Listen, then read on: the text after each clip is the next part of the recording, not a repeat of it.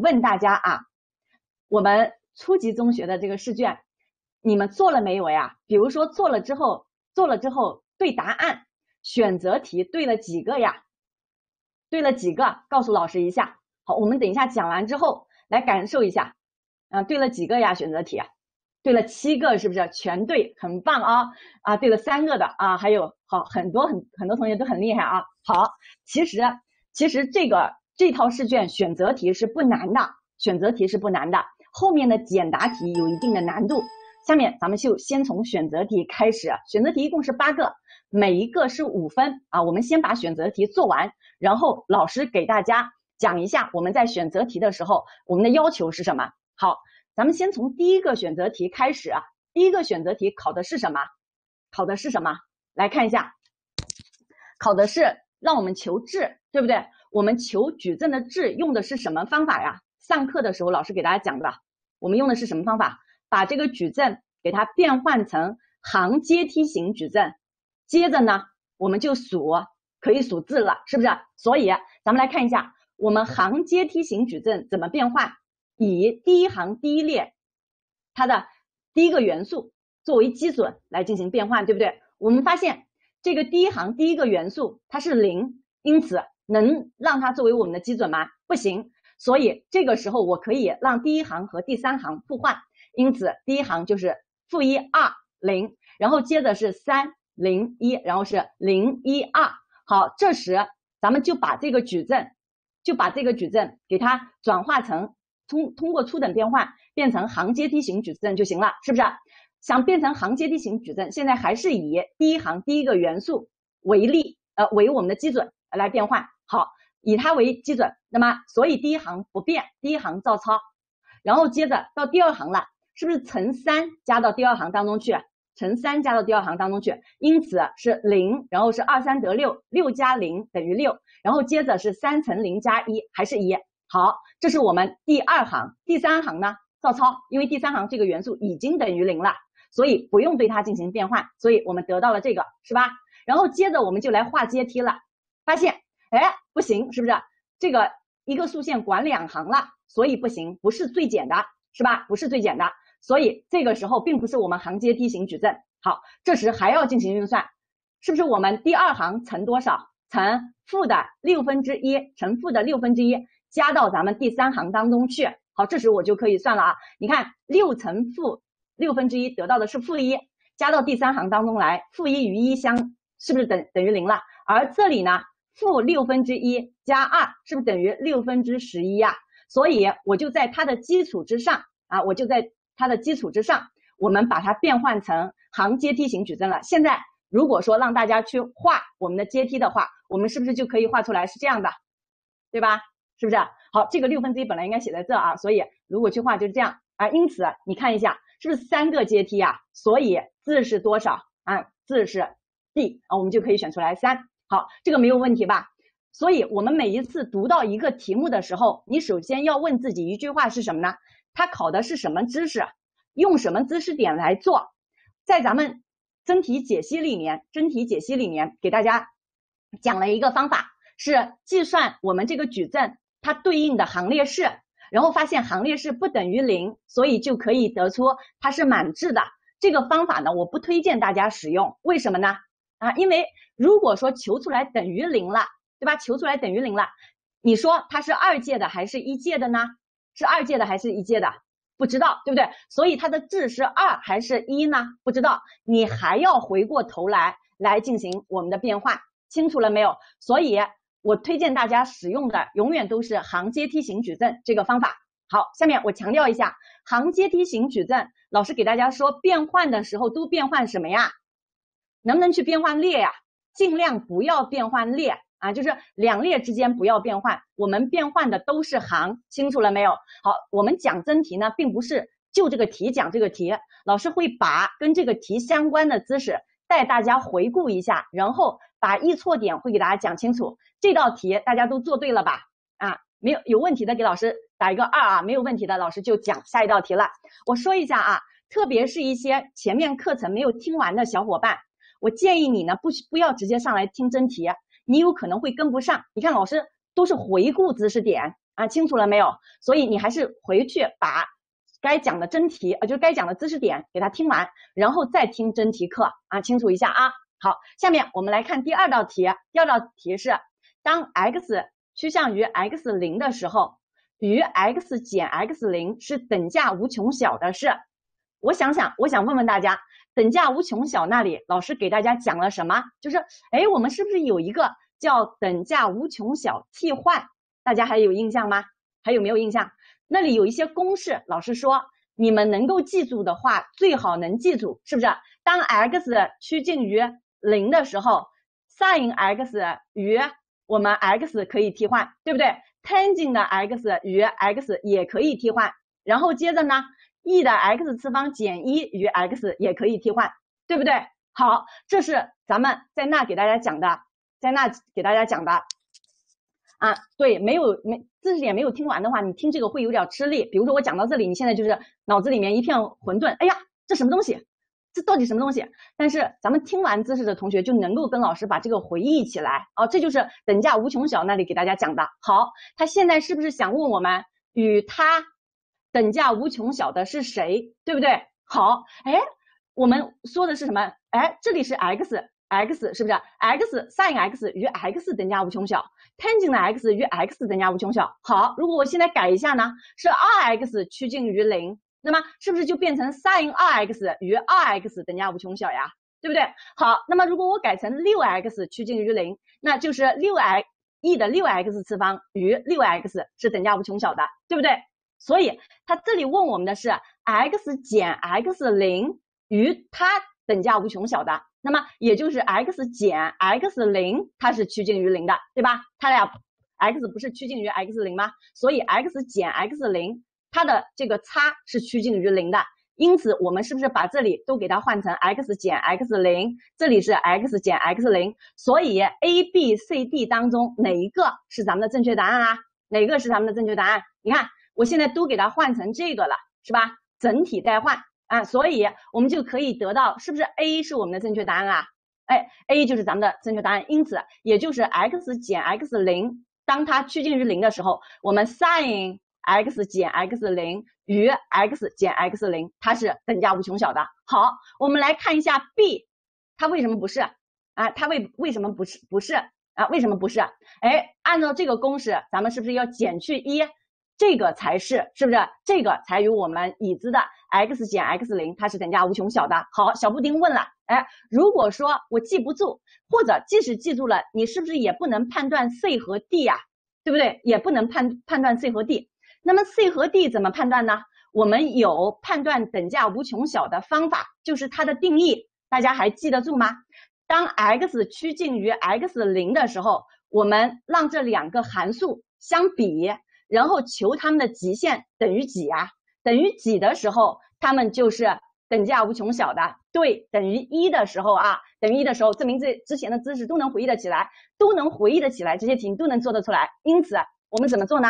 就是求这样的一个极限，x 趋近于 x 零的时候。好，现在让我们求的就是它嘛，对不对？这个跟谁等价无穷小？因此就用 x 减 x 零。比上，你看 A 和 B，我就可以通通过等价无穷小替换来进行来进行这个排除，或者说来进行选择。那么到 C 的时候，我发现哎不行了，这时我就可以直接把 C 作为一个函数，那来比较它与我们 x 减 x 零之间的关系。好，然后你看，你看把它带进去之后，那这时它和它是不是约了约了一个，对不对？那得到的是一比上 x 减 x 零，好，得到的是一吗？不是，是不是一比上零是无穷，所以它不是，它俩不是等价无穷小啊，就可以得出来了。那这个也是一样，你看它是趋近于零的，这里呢，当 x 减 x 零趋近于零的时候，我们可以把图像画出来，这是一个对数函数，它的图像，它的底数 a 等于几啊？等于 e，是不是？所以是一个单调递增的，因此当我们这个未知数 x 减 x 零就是增速的这个位置，它是趋近于零。那么我们看一下，它是不是应该趋近于负无穷啊？啊，所以这是 D 也是错的。好，C 和 D 能听得明白的给老师打一，听不明白的给老师打二。老师来看一下啊，我们 C 老师给大家讲了，就是用我们的定义来进行判断啊，C 就是用定义来进行判断。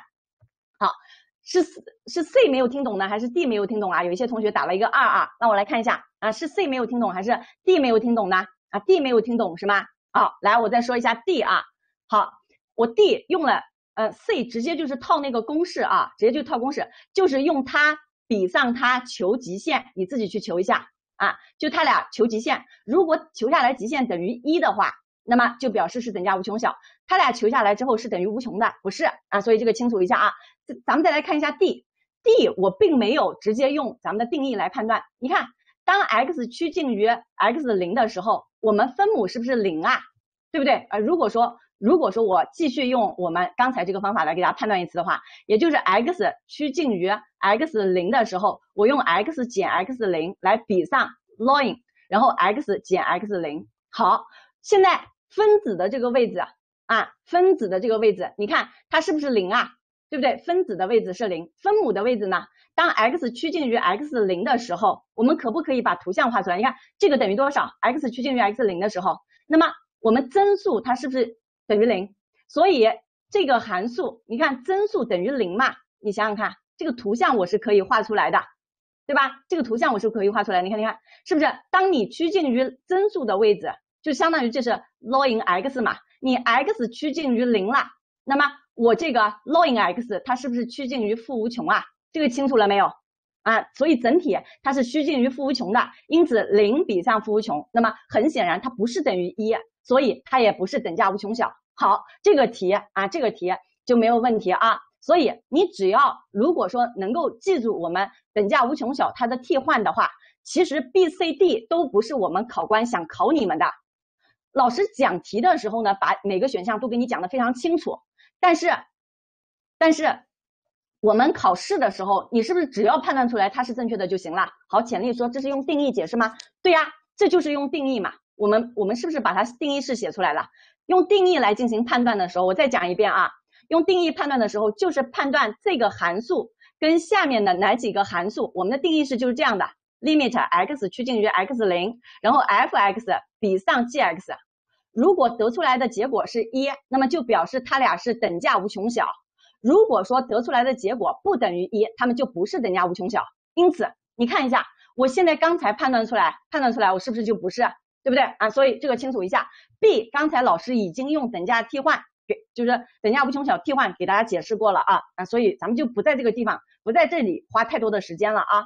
好。那么这是我们第二道题，其实你只要把那个知识点记清楚，我们考官也只想考那个知识点。你把那个知识点一记清楚之后，像这个你完全都不需要进行别的判别，就可以识识别出来了。好，下面我们来看第三题，我想问大家，像这个级数，它就是在这个四个级数当中发散，考的是什么知识点啊？考的是什么知识点？考的就是判断级数它的敛散性，对不对？所以考的就是高等数学。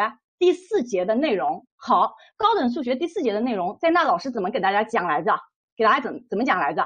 你直接就看我们的一般项，对不对？看一般项，你首先看一下，哎，这有四个一般项，那么你立刻就能判断出来了，我们答案是 A，为什么？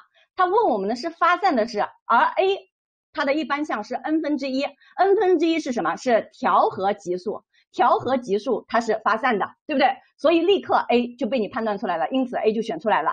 B、C、D 我们来看一下，好，A 选出来没有问题吧？你看，所以有一些同学总是到那一节，我看到评论啊，就是好像特别难理解哦，就是就就总想从正面去理解它。你需要理解它吗？你不需要理解它。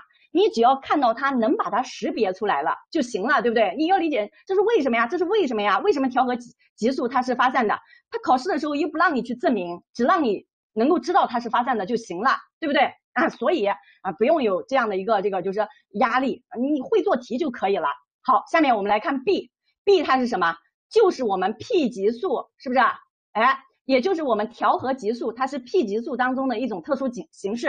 P 级数它的标准形式是什么？是 n 的 p 次方分之一，对吧？当 p 大于一的时候，当 p 小于等于一的时候，当 p 大于一的时候，它就是收敛的；当 p 小于等于一的时候，它就是发散的，对不对？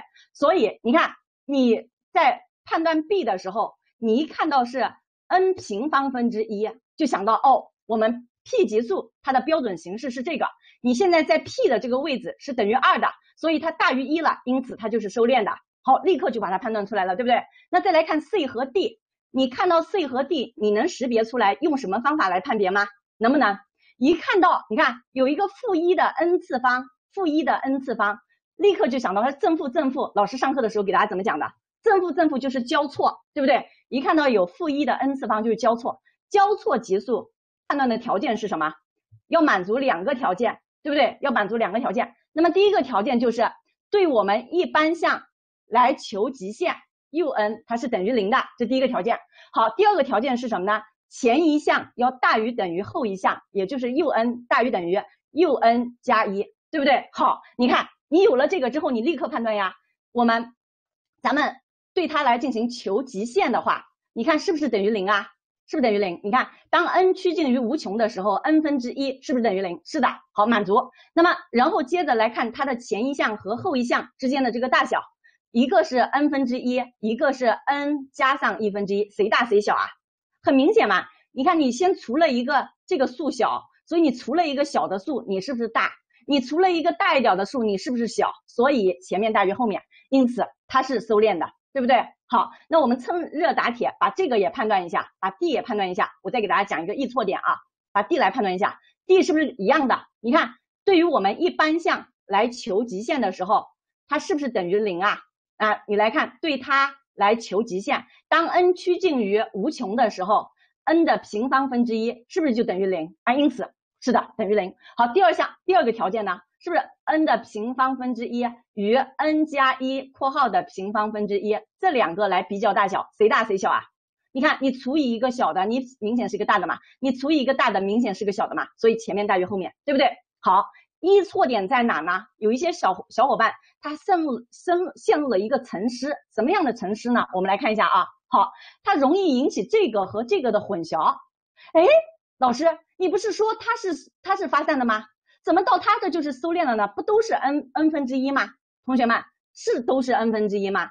不是的，你看这里它只有一个光秃秃的 n 分之一的时候，我们称它为调和级数，直接判断它是发散的。而到这儿的时候，我们首先已经把它判断出来，它是一个交错交错级级数，所以交错级数我们就需要你看交它既然是交错级级数，我们是不是就要满足那两个条件？对不对？所以你不要在这儿陷入这个恐慌。你这，哎呀，老师怎么都一样？怎么你你又这样讲？好，你现在已经判断出来它是一个交错级数，因此交错级数，那我是不是就要满足这两个条件？刚才老师写出来的，对不对？好，那这个题就给大家讲完了啊。那这种题在考试的时候能错吗？不能错呀，每一次考到都是送分啊，只要你把老师上课讲的内容清楚了，都是送分。好，下面我们来看第四题。啊，来看第四题，刚才那个问题老师已经给大家解答了啊。啊，来看第四题，下列关于椭圆它的论述正确的是，正确的是 A B C D。好，考的是不是我们在椭圆那里给大家讲的知识？老师给大家讲了哦，在平面解析几何那，老师给大家讲了椭圆它的两个概念，并且跟你们说，考试的时候考好多次，一三年、一四年，这是一七年，全部都是考的椭圆的概念、双曲线的概念。好。那么，所以在平面解析几何那什么那些大题都不可能考，只有可能考这个啊，所以这个清楚一下啊。那么我们来看一下，A 是平面内它的两点两个定点的距离之和等于常数的这样的动点的轨迹，我们称它为椭圆。好，那你们自己判断，我先给大家读一下啊。然后平面内它的定点和定直线之间的比值大于一，它的常数这样的一个动点轨迹，我们称它为椭圆。好，然后从椭圆当中。我们有一个焦点发出一个射线，经椭圆反射之后，通过我们椭圆的另一个焦点，然后 D 平面与椭圆椭我们的这个圆柱面，它的截线是椭圆。好，现在读完了 A B C D，我先问大家选哪个呀？选哪个？哎，想想看啊，有一些同学就选出来了，婶婶就选出来了，选 C 啊，好多同学都选出来了啊。来看一下啊，来看一下，有一些同学直接告诉我 D 不对，是不是？非常好，我们一个一个来看一下，你看。这是椭圆的第几定义呀？这是椭圆的第二定义，对不对？好，椭圆的第二定义是一个动点到两个定点的距离之和是定长，但是要求定长应该怎么样？是不是要比 f 一 f 二要来的大呀，所以二 a 它要大于啊不是等于大于 f 一 f 二，是不是？所以它这里说了没有？没有说，因此 a 是错的，对不对？我们是等于一个常数，但是要求这个常数必须比这个来的大。好，那么我们再来看 b，他说之比大于一，我想问大家，大于一是什么？也就是这个离心率，它应该是大于一的话是双曲线，对不对？我们椭圆要求 e 要小于一，大于零，所以老师在讲椭圆的第一定义那里，老师就经常就给大家说，考试的时候经常喜欢张冠李戴，对吧？啊，所以这里他就张冠李戴了，因此他错了，零到一之间才是椭圆。好，C 老师上课的时候没有给大家讲这个知识，是不是？但是你通过排除法，你是不是就可以排除说 C 是正确的，D 它也是错的？为什么呢？平面与一个圆锥面，它的截面是什么啊？圆柱面。来看一下，与这个圆柱面它的接面可能是椭圆，是不是？老师现在画的就是椭圆。但是如果它平平的截过来，得到的是不是应该是一个圆？对不对？所以它错了，有可能是椭圆，也有可能是圆，还有可能是其他图形的，是不是？所以答案是 C。C 指的是什么呢？是我们的一个椭圆当中的一个光学性质啊，就是从一个焦点发出一个射线，发出一一束光。然后经椭圆反就是反射之后，会经过它的另一个焦点。好，C 是正确的啊。好，其他没有什么，这是第四题。因此这道题，即使你 C 这个知识点不知道，也不影响这道题做出来，对吧？好，这是咱们的第四道选择题。我们再来看第五道选择题。第五道选择题它考的是什么呀？考的是什么？他说以下多项式是二次形的式。好，是二次形的。那么。我们在讲二次形那里，老师说二次形一般会考几个考点啊？会考几个考点？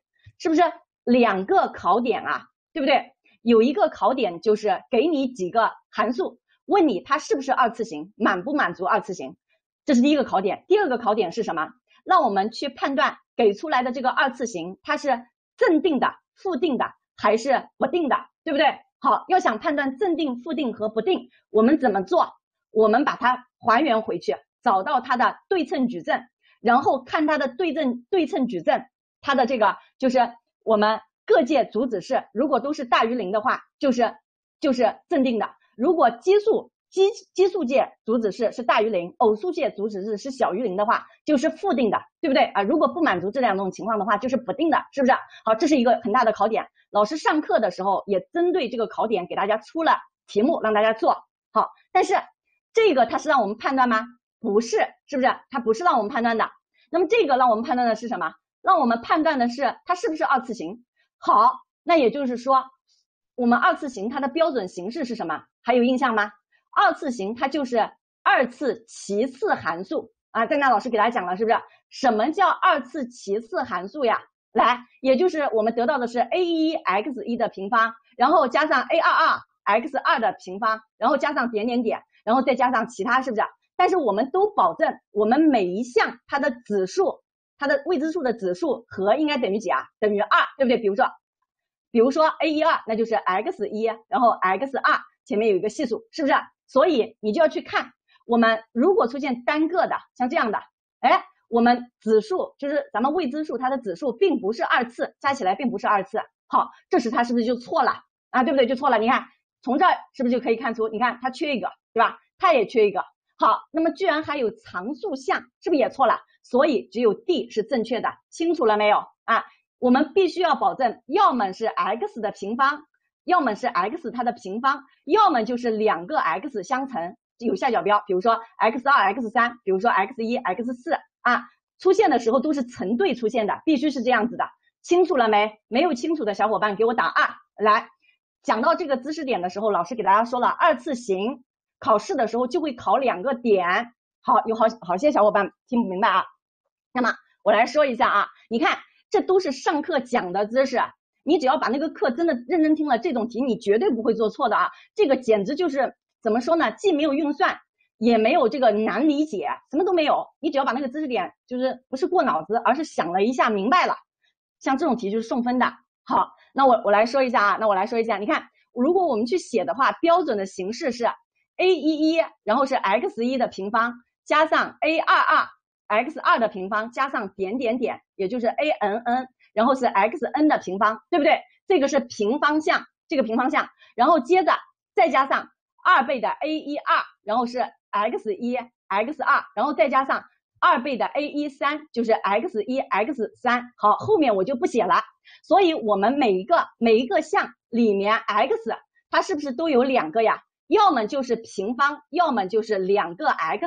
老师当时当时给大家讲的时候也是这样讲的，是不是？要么就是平方项，要么就是有两个 x，能不能出现只有一个 x，然后或者有一个常数的这两种情况是不能出现的，对不对啊？它它要么就是平方项，要么就是两个 x。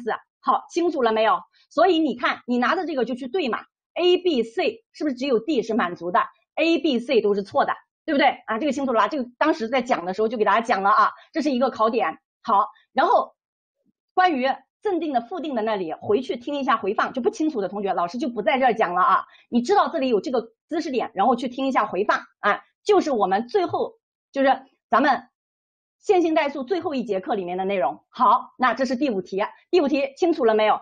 没有清楚的给老师打二。来，老师看一下，你看像这种题，就是在考试时，如果你真的做错了，我觉得是非常不应该的。啊，好，潜力还是有点问题，等一下我们答疑啊啊，潜力，你要有问题的话，等一下答疑。好，下面我们来看第六题啊，来看一下第六题，已知咱们随机变量大 X 它是服从正态分布的。好，这个，然后接着假设随机变量大 Y 它它是等于二大 X 的，那么 Y 服从的分布是什么分布？好，在正态分布那里，老师给大家讲了，我们一般会考大家什么呀？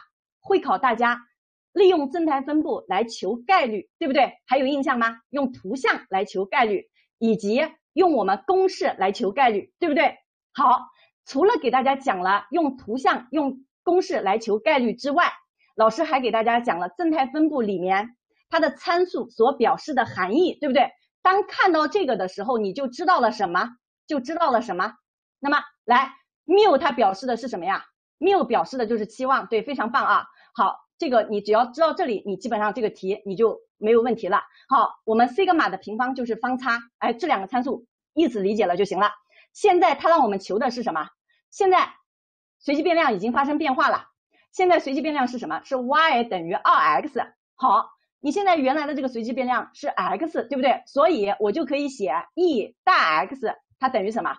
你看我是不是用我们期望？它的标准形式把它表示出来就是 mu，对不对？好，d 大 x 呢，它等于什么？西格玛的平方，是不是？我把这两个给它表示出来。现在让我们求的是什么？你看，他说按照什么样的分布，其实就是求里面的咱们的这个参数，求我们 y 等于二 x 的时候，咱们 y 这个随机变量它的期望和它的这个方差，对吧？所以这时你看就想让我们求 e_y，好，e_y 等于什么？等于两倍的。x，所以等于多少？你看，我们 e x 等于 mu，e 二 x 等于多少啊？e 二 x 等于多少？是不是把里面的常数直接拿出来？二 e x，因此直接就是二 mu。这就是我们上课给大家讲的关于数学期望和我们数学方差它的数字特性，对不对？它的数字性质，呃，数字特性，也就是说数学期望和数学方差对应的性质，一个是五条，一个是六条啊。当时让让大家会背的。好，这里我们再来求一下 d 大 y，那么就等于 d 二 x。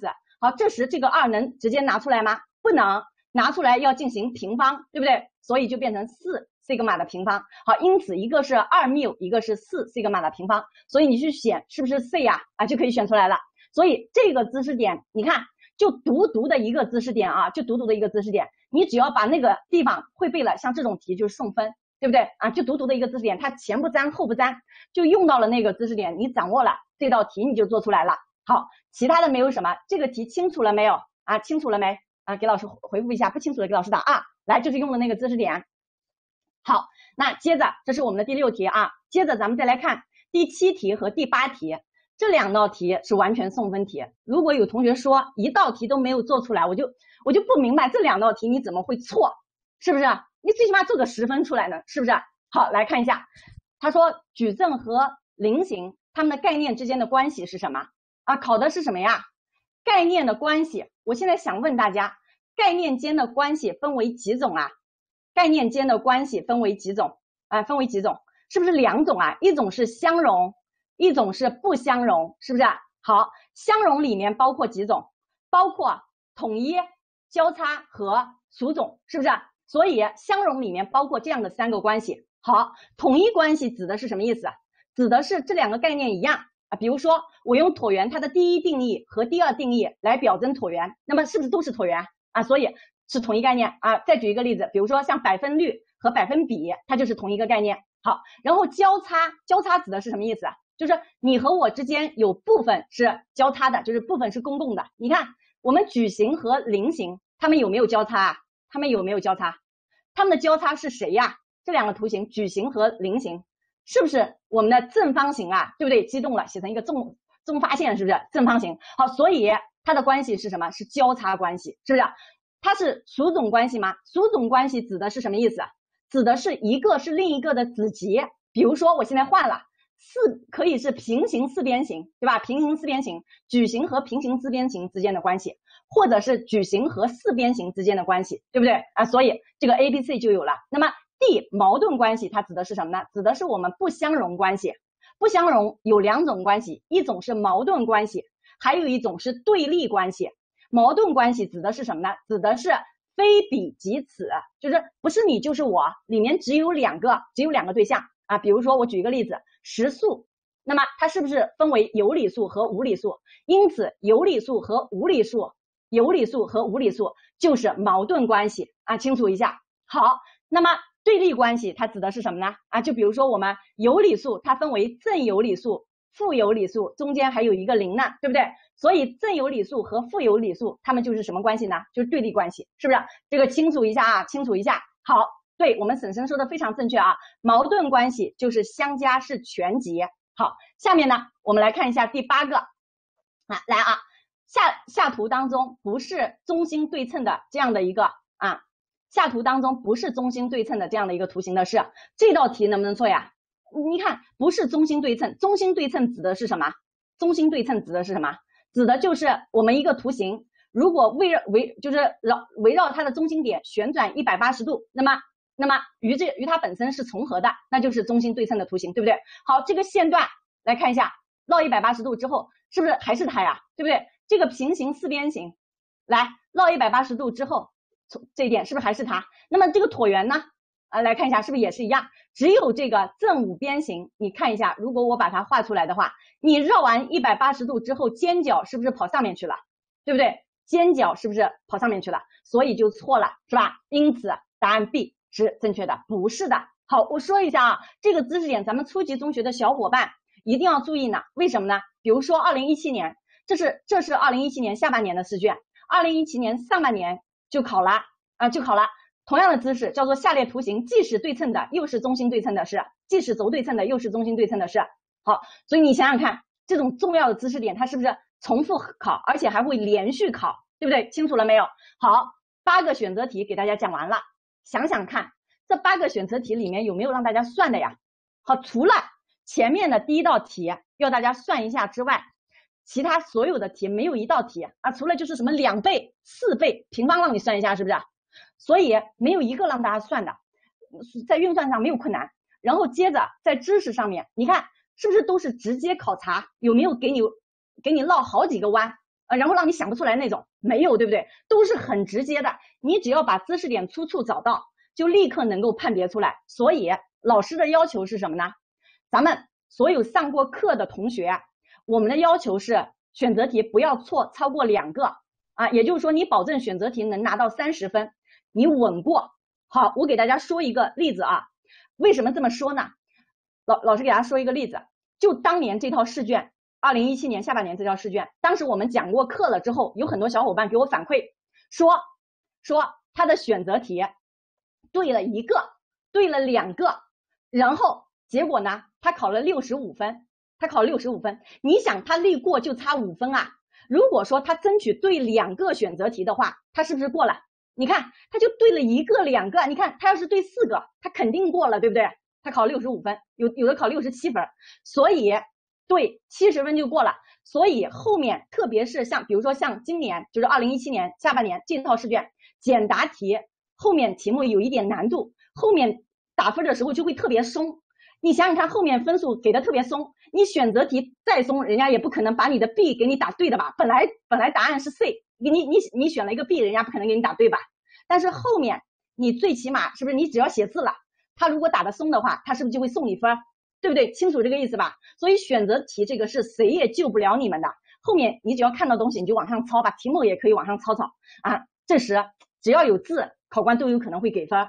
特别是当简答题、解答题等等那些文字类的题目特别难的时候，就逢到很难的这一年，后面很多同学都大空白，这个时候你上面写了好多字，他多少会给你分数。清楚了没有？好，你看这个可惜不可惜啊？这个可惜不可惜？好。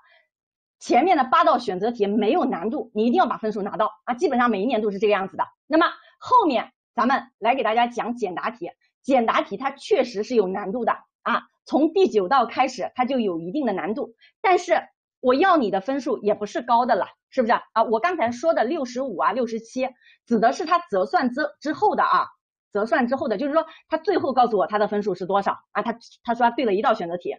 然后对了两道选择题，然后他告诉我他可可惜的很，他考了一个六十七分，考了一个六十五分，是吧？啊，这个清楚一下啊。换算之后是七十分啊，卷面分我们的要求是就是基本上你考到九十加就行了啊，就就是经常有老师要求你们考到九十五分，其实到九十分就过了，到九十分就过了啊。好，下面我们来看一下啊，咱们一起从简答题开始，简答题一共是五个小题，那么每个小题是七分。一般情况下是三加二的模式，就是三道计算题证明题，两道文字题。好，下面我们首先来看第九道题，它是一个计算类的，对不对？计算类的。好，来将平面曲线 y 等于 x 的平方分别绕 y 轴和 x 轴旋转一周，然后问我们所得的旋转面分别为 s 一和 s 二。在空间直角坐标系当中，分别写出曲面 S 一和 S 二它的方程啊，来看一下啊，看一下这道题三分怎么样？好拿不好拿？我想问大家，来，你看它现在我们写的是什么？写的就是绕 Y 轴、绕 X 轴旋转，对不对啊？好，绕 X 轴、绕 Y 轴旋转，我现在问大家啊，我现在问大家，呃，来怎么做呀？怎么做？我们当时怎么给大家说的？绕哪个轴旋转，哪个轴？不变，剩余的写成什么？正负根号，然后其他的两个它的平方和，对不对？所以我就说了，好，你现在想求的是 S 一是吧？它是绕 Y 轴旋转，所以 Y 不变啊，因此 Y 照抄。那么接着 X 变成什么呢？它等于，然后括号的平方这个都不变，等于 X 就等于正负 X 的平方加上 Z 的平方，因此是不是就等于 X 的平方就是加上 Z 的平方啊？对吧？哎，能不能写出来？好，我们考试的时候怎么写呢？放假，等一下老师给你说啊啊，你看一下，咱们啊，你看一下，我们是不是就可以得出啊？来，y 它就等于 x 的平方加上 z 的这个平方，是吧？你绕 y 轴旋转，y 不变。好，咱们再来看，如果绕 x 轴旋转的话，是不是 x 二它是什么？那么 x 二它就是 x 不变，对不对？所以我把 x 的平方写到这边来。那么 y 就变成什么了呢？变成正负根号 y 的平方加上 z 的平方，对吧？好，我们本来就是 x 平方了，因此你这个正负能写吗？是不是就不能写了？所以得到的这个结果就是这样的。好，那么书写的时候我们怎么书写呢？就是有一些同学说，老师，就是这个书写怎么书写？你就这样书写就行了。就是我们绕 y 轴一周，则 y 不变，x 变成这个。带入到里面去之后，那么我就可以得到它，这清楚了没有？因此我们书写的时候就这样去书写啊，就这样去书写，就是绕谁不变，绕谁旋转，则谁不变，x 就变成正负根号 x 的平方加上 z 的平方，带入到我们曲线当中去，就可以得到曲面 S 一它的方程是 y 等于 x 的平方加上 z 的平方。好，那么同理就可以得出这个。当然，如果说你不想写同理，那你也可以按照这个来把它书写一次。也就是说，绕 x 轴旋转一周，则 x 不变，y 变成正负根号 x 的平方加上 z 的平方，带入到我们这个式子，因此就可以得到 x 二，它就等于这个。清楚了没有？啊，清楚了没？啊，这个说一下啊，啊，清楚了没？就是我们去书写的这个就可以得到三分全分。简单不简单？这个三分也是送给大家的，对不对？好，下面就来到一有一个难的，就是求体积的，这个很多小伙伴呢就有点搞不清楚了。好，现在我们来看一下啊，把这个题目先读一下。我想问第一问没有问题吧？啊，有问题的给老师打二啊，让老师了解一下情况。这个就是用老师上课讲的东西，是不是？就特别简单，直接就套的三分，要不然人家怎么就是三分，连一道选择题都不如，是不是？好，来，下面咱们来看第二个问，求平面 y 等于四与我们这个曲面所围成的立体图形它的这个体积。好，这个曲面，这个曲面指的是什么呢？它是不是 S 一指的是什么？指的是绕 y 轴旋转。对不对？好，咱们来看一下，绕 y 轴旋转，这是 x，这是 y，对吧？现在我们这个曲线可以画出来，y 等于 x 的平方，这个图像绘画吧，咱们就可以得到这个图像，是不是？好，这时他说了，S 一指的是什么呢？指的是绕 y 轴旋转啊，因此这时你就想着这个疯狂的在旋转，这个曲线疯狂的在旋转，是不是形成了一个碗啊？上面就是一个碗。好，那么。这个碗什么体积呢？是平面 y 等于四，y 等于四指的是什么？其实就是这有一个平面切过来了，对不对？好，那我们计算的就是这里它的体积啊，这里它的体积怎么计算呀？求体积，在老师给大家讲的这么多节课当中，只在哪里讲了求体积啊？向守经说了，只在定积分那里讲了求体积，对不对？好，老师现在问大家，我们定积分那里给大家讲。求体积的时候，我们思考的路径应该是什么？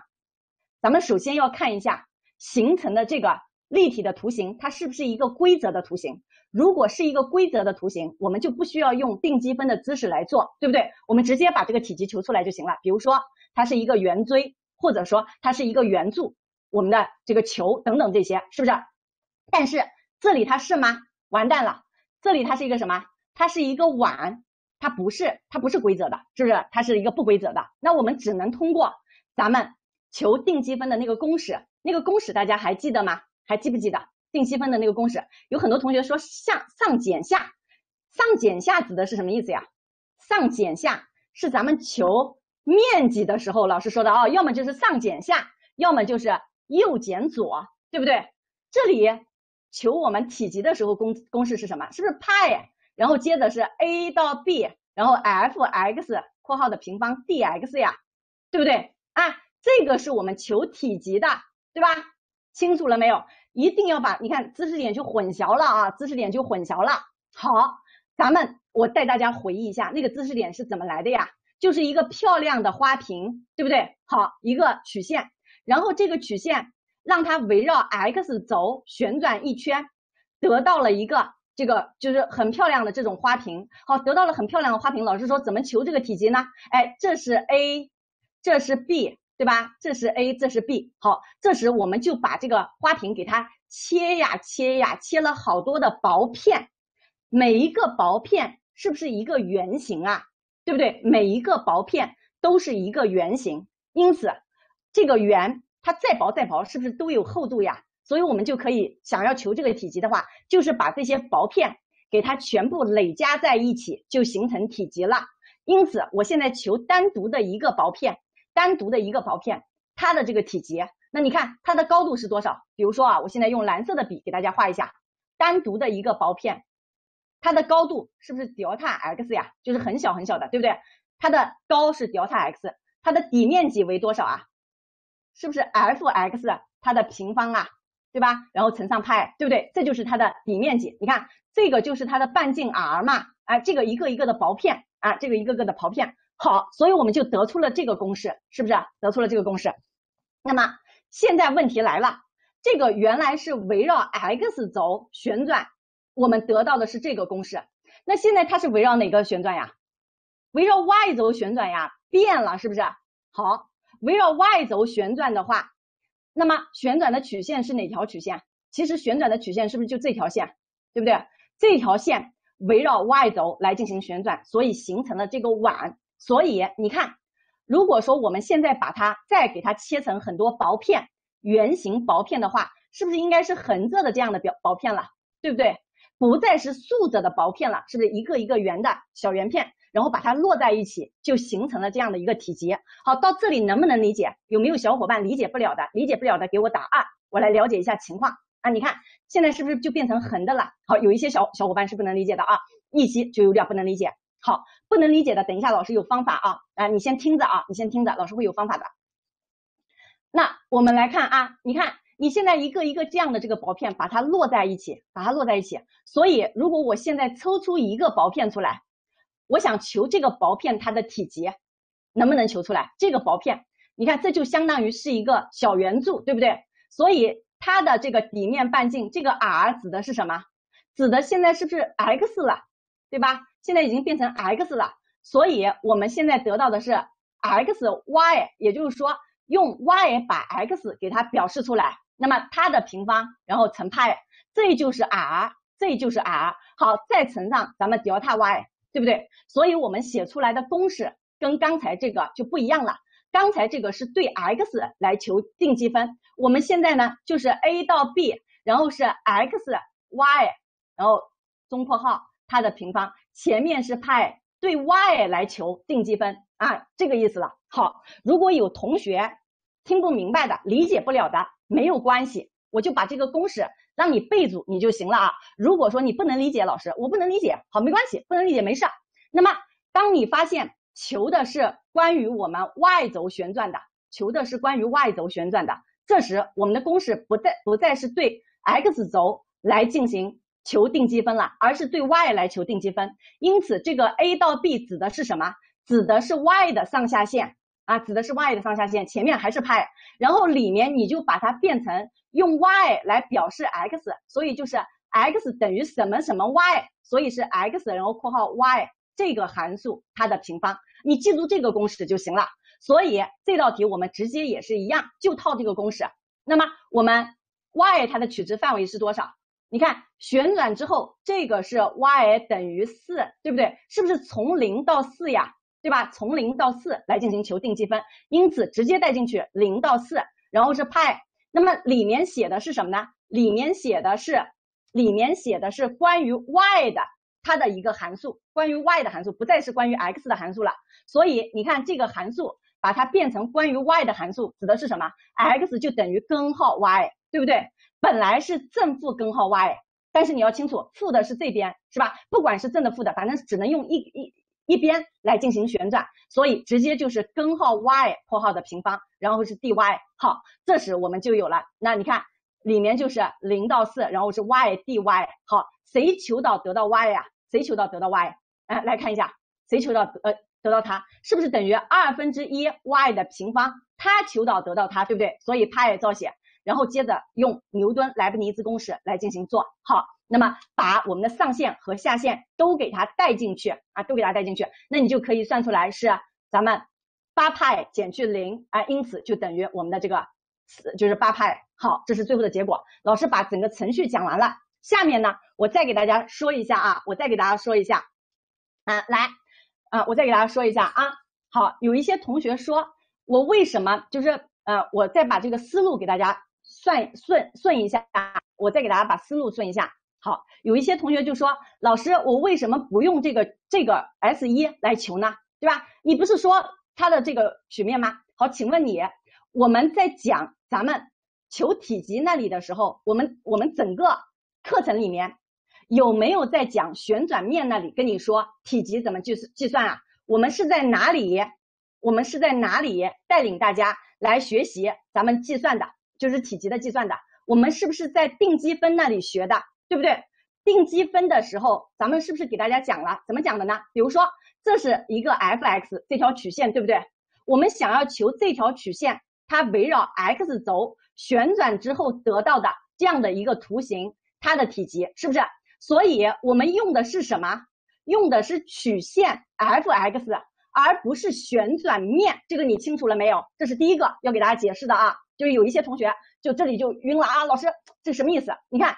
它虽然说的是曲面 x 一所围成的这个图形，但是所围成的这样的一个图形，但它的体积，但是你看你在这里找不到知识点跟它对应啊，你在哪求体积的？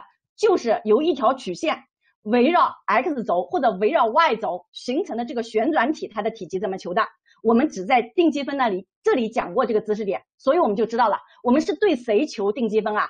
是对这条曲线求定积分，对不对啊？对这条曲线求定积分。好，对这条曲线求定积分，那就有两种情况，一种情况是围绕 x 轴旋转，还有一种情况是围绕 y 轴旋转，对不对？好，你记清楚就行了。围绕 x 轴旋转的时候，我们上下线是对 x 来进行求定积分，因此是派 f(x) 它的平方。好，如果你去这样，你这样记就可以了。围绕 x 轴，那么如果是围绕 y 轴呢？那么也就是 a 到 b，这个 a 到 b 指的就是 y 它的 y 它的这个范围。好，里面呢你可以写成 f(y)，对不对？f(y)，好，它的平方。那 f(y) 指的是什么？就等于 x，理解这个意思吧？就是用我们 y 把 x 给它表征出来。好，其他的就没有什么。这个就是我们考试的一个关键点啊。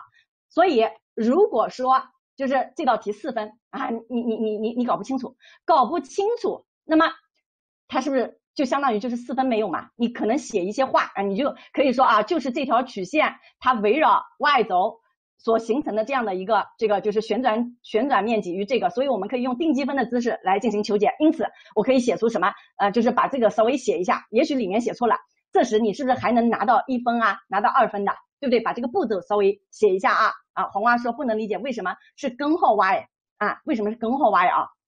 啊，来看一下为什么根号？我不是说了吗？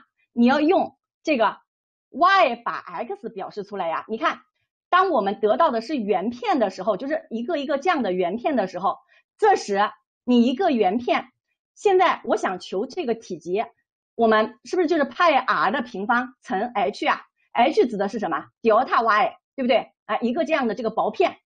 H 指的是什么？delta y，r 指的是什么？你看 r 指的就是半径，是不是 x 是不是横坐标它的这个长度呀？所以一定是 x，因此就是 x 括号 y，或者你实在理解不了的话，你就记住就行了啊！实在理解不了的话，你就记住就可以了。好，第九题老师就给大家讲完了啊，嗯，第九题老师给大家讲完了。下面呢，我们来看咱们的。就是答案就是这个啊啊就这样来的啊，其他的没有什么，就是底面积层高。对啊，梅花说的很正确啊。好，下面我们来看第十题，讲完第十题咱们休息一下啊。好，第十题考的是什么呢？考的是什么？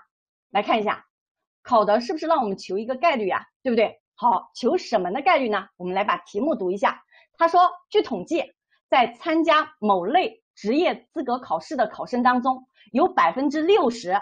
他是本专业的学生，有百分之四十是非本专业的学生，其中本专业考生通过的是百分之八十五，非本专业的这个通过的这个通过率是百分之五十。好，你看一下相不相当于，相不相当于是我们就是啊，来看一下啊，相不相当于是呃，就是丽丽问了一个问题，咱们等一下答疑答啊，丽丽啊，答答疑答啊，你先跟着老师来看这道题好吧？啊，就是如果说不会的话啊啊来。你看一下，是不是相当于我们教师资格证考试呀？诶诶，参加人当中有百分之六十是本专业的数学专业的，然后有百分之八四十是什么？呃，就是工商啊、管理啊等等其他专业的，对不对？好，本专业的人他们是学习数数学的，他们基础好一点的，所以他们通过率高一点了，百分之八十五。然后非本专业的人，他们的通过率是不是低一点？百分之五十，是不是？好，那么他问的问题是什么呢？问的问题是某位考生通过了考试。求该考生是本专业考生的概率为多少？我现在想问大家，哎，他现在是不是想让我们求一个概率，对不对？这个概率，我们在讲概率的时候，求概率，我们就需要知道他让我们求的是什么事件的概率，对吧？什么事件的概率？好，你就要想一下，我把类型判断出来了，我才能知道用什么方法，对不对？我想问大家，这个是求什么类型的？你看我们。概率的类类型包括哪些哪些种类啊？比如说等可能事件，让我们求概率，对不对？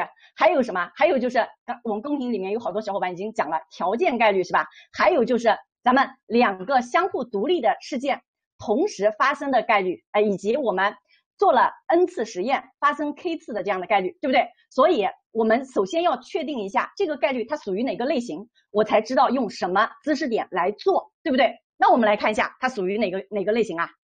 你想想看，他问的问题是什么？整个问题是这样的，叫做某位考生通过了考试，然后问你的是该考生是本专业本专业的这个考生，他的概率是多少？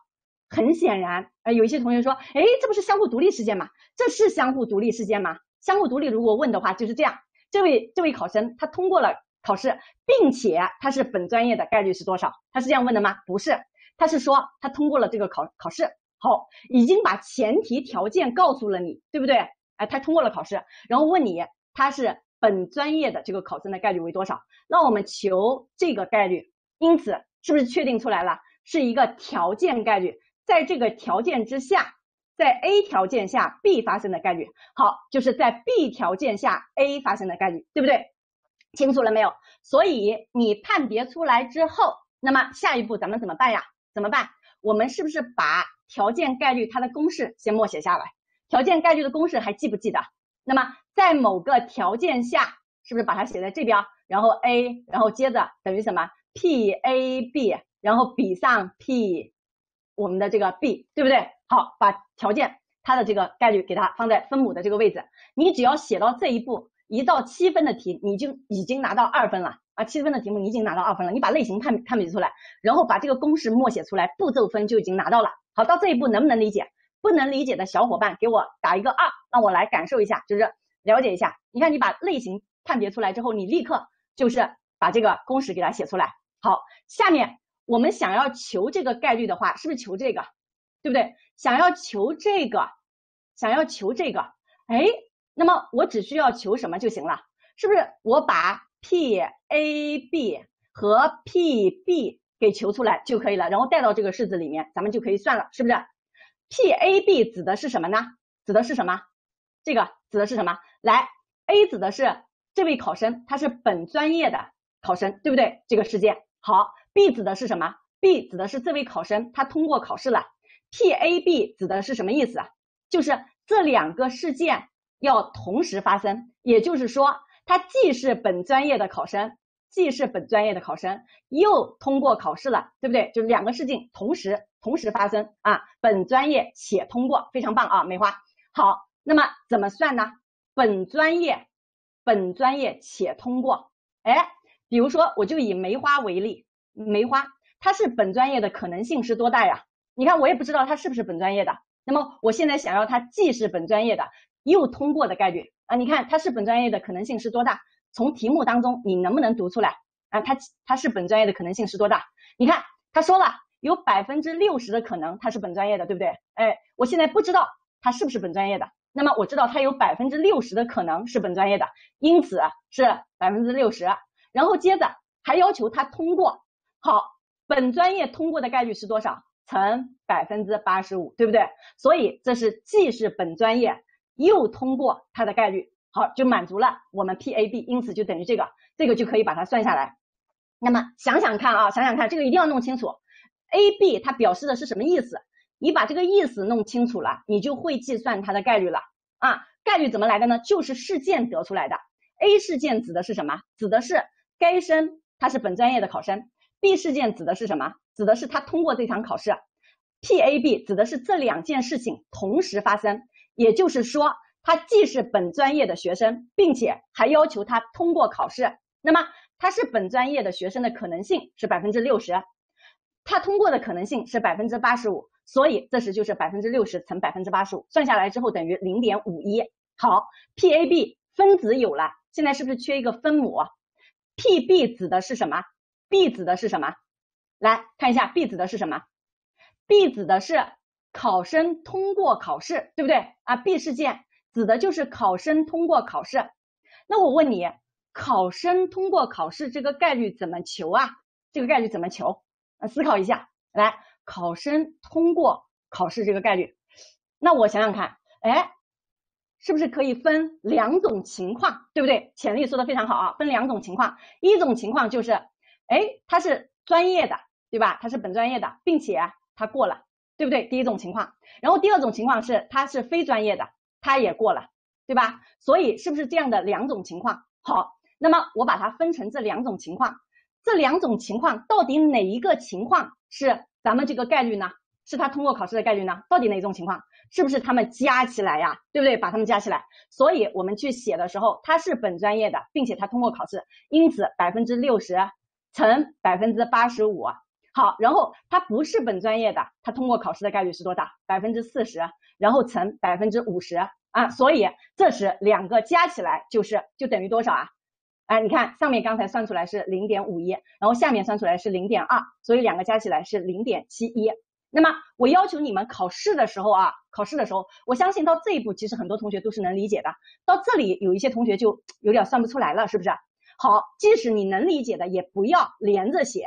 啊，不要两个连在一起写，把它分开写，写成写成第一种情况是，第一种情况是他是本专业的，并且他通过考试，那我算出来第一个式子是这个，然后第二个就是这个，好，然后对它求和，那么这时 PB 就有了，因此看一下，那上面比上下面，那么我们就得就得出我们这个条件概率它的式子了，是不是？所以就是零点五一比上零点七一。好，那么你就可以写成七十一分之五十一啊，七十一分之五十一，咱们就可以得出这个结论了。下面呢，老师给大家把思路说梳理一下。首先，你们会掉入第一个坑，第一个坑在哪里呢？就是题意理解不清。有一些同学，有一些同学直接，我换一个颜色的笔给大家梳理一下啊，直接在这就懵掉了啊，在这里就懵掉了。好，那么。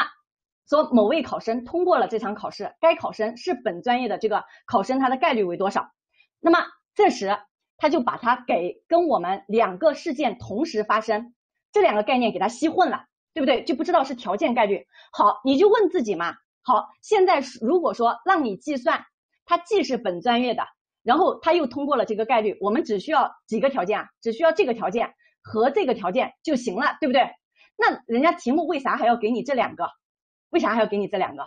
所以你的脑子就要想一下嘛，哎，是不是有有问题？是不是我思考的不对？我再来读一遍啊，清楚了没有？啊，清楚了没？好，这是大家容易入的第一个坑。入的第二个坑在哪里呢？好，这时你把它识别出来了啊，把它识别出来了。这时公式也写出来了，然后我们 A、B 同时发生啊，就是既是本专业又通过这个同时发生算出来了。到这儿不会算了。就所以就有一些同学问我全概率是怎么算的，对不对？全概率的公式是什么？其实这里用到就是它虽然让我们计算的就是全概率，但是你不要从全概率这个角度去理解，要不然的话你理解不清啊。你直接就说那什么时候我们这个学生他通过了这场考试呢？什么时候呢？哎，他有可能是本专业的，他通过了这场考试，他也有可能是不是本专业的，他也有可能通过了这场考试，对不对？所以我是不是分两种情况？所以。我们分布分类在咱们求概率的时候也是适用的，也适用的。好，那么这时我们是不是就求出了 PB，对吧？好，就可以得得出来了啊。老师为什么在考试时给大家说，就是尽量分分布写呢？我给大家说一下啊，就是因为我有一个学生，他直接连着写的，他零点五一加上零点二等于零点五三，他是不是做错了？所以这道题他本来可以得很高的分数，就是因为他连着写，步骤分都少拿了。步骤分多少呢？啊，直接判错了。如果他分开写的话，你看这个步骤分，这个步骤分是不是都拿到了？所以我们每一次去写咱们简答题的时候，一定能分开的你就分开写，这样即使你出了错，也不影响你拿步骤分。清楚了没有？好，那么下面咱们这道题就给大家讲完了啊。这道题听清楚了没有？就理解了没有啊？有没有同学在刚才讲的这个过程当中没有理解的？好，来老师看一下。啊，了解一下啊，说只写令该生是本专业事件为 A，直接写了一个 P A 的值扣分，扣分的比比值。好，婶婶，我我觉得你这样书写的话，首先第一个就是你如果只写了这个的话，呃，等等一下啊，说只写了，你答疑的时候再回答你吧啊啊，我我现在也就是嗯，就是有点来不及反应过来啊。好，这道题就给大家讲完了啊，那么咱们就休息一下啊，这道题就是应该是。嗯，咱们同学没有什么问题啊。有些同学说，老师，我可不可以写成分数？可以写成分数啊，可以写成分数啊。如果说你写成分数的话，没有问题。然后你写成这个的话，也是没有问题的，理解这个意思吧？啊啊，这个说一下。好，下面咱们休息一下，然后给大家讲十一题啊。然后有一些同学说答题不规范，有没有关系啊？哎，其实答题不规范的话，我觉得没有什么太大的关系，你只要不写错就行了。啊，就是我们教师资格证考试，你要是去看那些试卷的话，真是就是跟高考的试卷是天然，其实是就是那种你不要以高考的那个试卷来要求咱们教师资格证的试卷啊。如果真的让你们去阅卷的话，有的试卷真的把你的大牙都能削掉啊。所以就是比如说我书写的时候有什么不正确的呀，或者怎么样，就书写不规范，这没事的。只要你书写正确就行了，步骤多，然后把步骤分该拿到的拿到啊，其他的没有什么。没有写公式的话，省省，这是老师不建议你的啊，你还是要把公式写上啊，就是每一次用到哪个公式就把哪个公式写上。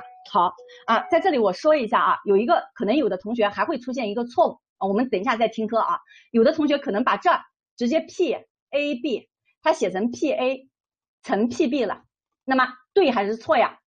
对还是错？对还是错？我现在问大家，错。好，为什么呢？因为他有说 A 和 B 是两个相互独立事件吗？没有说，对不对？所以不能写成这个，而只能写成这个式子，理解这个意思吧？就是能用公式的，咱们要把公式写上啊，能用公式把这个公式写上，不能用公式的就不能写，理解这个意思吧？你看，我们 A 和 B 同时发生，因此我们就是用这两个概率来进行相乘，所以我就可以得到这个啊，所以一定要清楚啊啊，红花就是。我老师上课的时候就给大家强调了，想要去用这个公式，前提条件是什么？这两个事件它必须是相互独立的。人家告诉你了没有？没有，你就不要这样写。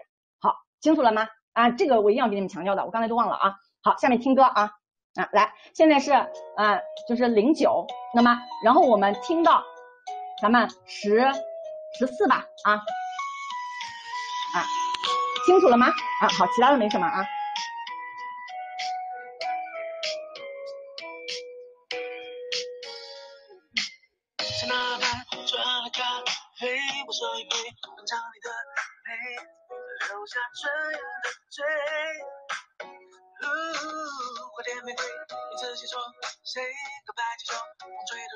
七岁多了啊，八岁了马上，所以跟你们已经是那个啥了啊，啊，好啊，咱们咱们就开始了啊，啊，都回来了吧？我们不听了啊，对，平翘舌呀等很多，就是有点分不清啊，啊，确实是，就是那个啥啊，对不起大家，啊，好，下面我们开始上课啊，啊，来，下面我们一起来看咱们第十一题啊，这道题呢。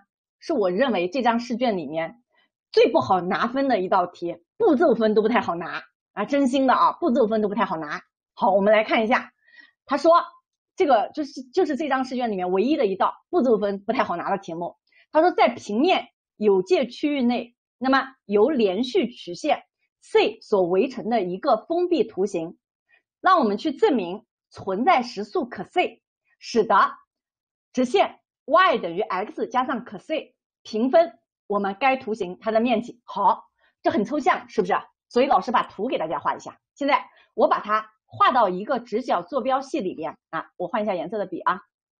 好，我把它画到一个直角坐标系里面啊，我我我清一下啊，画到一个直角坐标系里面。现在如果我在这儿有一个，他说了由连续曲线 C 围成的一个封闭图形，这个图形可不可以？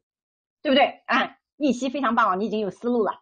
那么是不是？你看我这写一个 C 在这儿，是吧？它是一个封闭的曲线，连续的这个曲线。好，那么连续的这个曲线就可能会形成一个封闭的图形，对吧？现在我画的这个圆圈，它里面是不是一个封闭的图形？好，现在有一条直线，它把我们这个封闭的图形它的面积平分成两份。那么我们来看一下这条直线啊，这个是不是相当于整个面积就等于 S？对不对？整个面积就等于 S。好，现在 我来问大家，我可不可以把这条直线给表示出来呀？啊，他说存在一个可 C，存在一个可 C，把我们这个平面它的面积平分成两份儿。平分指的是什么意思？就是分成两份儿，面积是相等的，对不对？左右两边或上下两边面积是相等的，是吧？好，那么这条直线我们在直角坐标系里面能不能画出来呢？我可不可以画出一个最简单的？我假设可 C 是等于零的，可不可以？那就画 y 等于 x 这条直线。好，我现在画 y 等于 x 这条直线。这条直线它指的就是什么呢？指的就是斜率等于一，对不对？因此夹角就是四十五度，是吧？与 x 轴它的夹角就是四十五度。好，这条直线有没有把我们这个封闭的图形它面积分成相等的两半啊？有没有？啊，来看一下有没有？啊，现在的确大家都不知道怎么如何下手啊，都不知道。那么我们就来思考呀，对不对？你先把图画出来嘛，画出像样的图，我们是不是才能做？对吧？很显然，我画的这条直线是不符合要求的。如果说我把这条直线往下平移一些的话，那么是不是就可能存在这样的一个可 C，使得我们哎，比如说我平移到这来，那么这时我是不是把这个图形给它平移分成了两份，一份是 S 一，一份是 S 二，对不对？好，有了 S 一和 S 二，是吧？好，那么这时这个这个点，这个点它的坐标是多少？是不是零可 C 呀？对不对？是不是？所以这条直线它也就 y 等于 x 加上可 C，是吧？好，那么这个可 C 指的是什么意思呢？啊，有一些同学说是截距，的确就是截距。截距指的是什么呢？指的是一条直线，它与 y 轴它的交点的纵坐标，清楚了没有？好，也就是这段纵坐标。你想与我们 y 轴它的交点是不是这个点？所以可 C 指的就是这个纵坐标，清楚了没有？截距。就是我们的纵坐标，就是焦点与 y 轴它的焦点的纵坐标。好，那么现在我想问问大家啊，我们想要求的是什么？求的就是 S 一等于 S 二，对不对？然后找到这样的一个可 C，对吧？啊，使得我们这个 S 一等于 S 二。好，那么我现在不知道这个可 C 是多少呀？其实我可以把这个方程直接这个直线直接令成 y 等于 x 加上 a。如果当 a 等于可 C 的时候，那么 S 一是不是就等于 S 二了？对不对啊？我令这条直线，它是 y 等于 x 加上 a，a 呢是一个变量，a 可以随意变啊，只有它变化了，我们才能找到这个可 C，使得我们 S 一等于 S 二，是不是？能能理解这个意思吧？好，那我现在问大家，如果说我现在把这个图给它重新画一下，画大一点，画到这来，那你看一下，我现在在这儿的时候是不是平分它这条直线？我是不是平分它，使得有 x 一和 x 二？那么我往上可不可以移一些？往上能不能移掉？往上移的时候，往上移的时候，s 一和 s 二之间是什么关系？往下移的时候，s 一和 s 二是什么关系？当我们 a 变大的时候，咱们这条直线是不是往上移呀？对不对？当 a 变大的时候，这条直线是不是往上移？这时 s 一和 s 二是什么关系？当 a 变小的时候，这条直线往下移的时候，我们 S 一和 S 二是什么关系？啊，来来思考一下啊，思考一下啊，你看往上移，S 一是不是应该小于 S 二呀？往下移，S 一是不是应该大于 S 二呀？对不对？好，到这一步能不能理解？不能理解的给老师打二啊，就是你现在不要管这个题目怎么做，你先跟着老师的思路啊，你看我 I A 变化的时候，S 一和 S 二都发生变化了，现在。想想看，我这个移一点点，我 S 一和 S 二是不是变化一点点啊？所以它的变化是不是连续的，对吧？随着 A 的变化，S 一 S 二就发生变化了。因此，我们可不可以用一个用 A 来表示出我们 S 一它的面积啊？对不对？其实这个面积就是我们 S 一 A 好。那么 S 二呢，它也是跟 A 有关系的，所以我们就可以写出 S 一 A 这样的一个函数，它表示的就是我们 A 与 S 一之间的这个关系。A 变大了，好，我们 S 一就变小了。那么 A 变小了，S 一就变大了。那我接着也可以用 A 作为一个自变量来表示出我们面积 S 二它的函数，所以也就是 S 二 A，对不对？我们想求的是什么？就是它俩相等。这时我们 k a 是等于可 C 的，对吧？想求的就是它俩相等。这时 a 是等于可 C 的。好，想要求它俩相等，其实就是它俩做差之后等于零，对不对？啊，想想看，想要求它俩相等，是不是就是它俩做差之后等于零啊？它俩做差之后等于零，就是它俩相等的。好，我现在是不是得到了一个方程，也就是 S A。S 一 A 减 S 二 A，那么它等于零。想想要求的是什么？求的就是这个 A，把这个 A 求出来等于可 C 就好了，对不对啊？我就可以得出这个结论了。那么想要求一个方程有解，想想看，方程有解跟什么知识有关系？方程，哎，这个方程有解。如果说我想把这个方程写出它对应的函数。那么这个函数与我们 x 轴有交点，是不是就行了？所以我就构造出一个函数 f 大 A，它等于 S 一 A 减减去，好，这里我划掉啊，那么 s 二 a，这时我是不是就可以得出这个，对吧？那么我就想知道这个函数它与 x 轴有没有交点，如果有交点的话，那么它就等于零了，对不对？你想一个函数，如果老师在这画一个图，我这个函数我随便画，我如果画成这样它的图像，那么它与 x 轴就没有交点，因此它的纵坐标就不可能等于零，对不对？它的函数值就不可能等于零。当它与 x 轴有交点的时候，那么对应的纵坐标才是等于零的，对不对？对应的这个才是等于零的。好，所以啊我就现现在就想求 f(a) 这个函数，它与我们 x 轴有没有交点？这个函数它是不是连续的呀？它是不是连续的？我想问大家，是不是连续的？你看 s(1a) 它是随着 a 连续变化的，我们 s 二 a 它随着 a 也是连续变化的，因此它俩做差之后是不是也是连续变化的？所以这个函数是连续的。我现在就问他大家，连续的函数具有什么样的性质呀？具有什么样的性质？连续的函数有界的，有最大值、最小值，然后界值定理、零点定理，这个是不是我们？必区间上连续的函数它具有的四个性质啊，这是老师上课的时候给大家讲的，对不对？好，那么我现在问大家，这个 f(a) 它等于 s(a) s 一 a 减 s 二 a，它的最大值和最小值能不能求出来？能不能求出来啊？想想看，有没有最大值和最小值？你想想看，如果说我这条线跑到这里来了，我这条线跑到这里来了，我 s 一是不是就等于零啊？s 二是不是就等于我们 s 呀？因此零减 s 是不是就等于负 s 呀？对吧？好，你来看一下。那么如果我这条线跑到这儿来了，跑到这里最下面这来了，那么 s 一是不是就等于所有的这个面积 s 了？s 二呢，是不是就等于零了？因此它是不是就等于 s？所以我们就可以得到这个函数它其实是有最大值和最小值的。它的最大值呢就等于 s，最小值呢就是负 s。因此现在我们函数值啊，老师想清一下屏啊，老师不在这个屏幕上写了，老师换一个屏。那么我们 f(a) 它是不是属于咱们负 s 到 s 之间啊？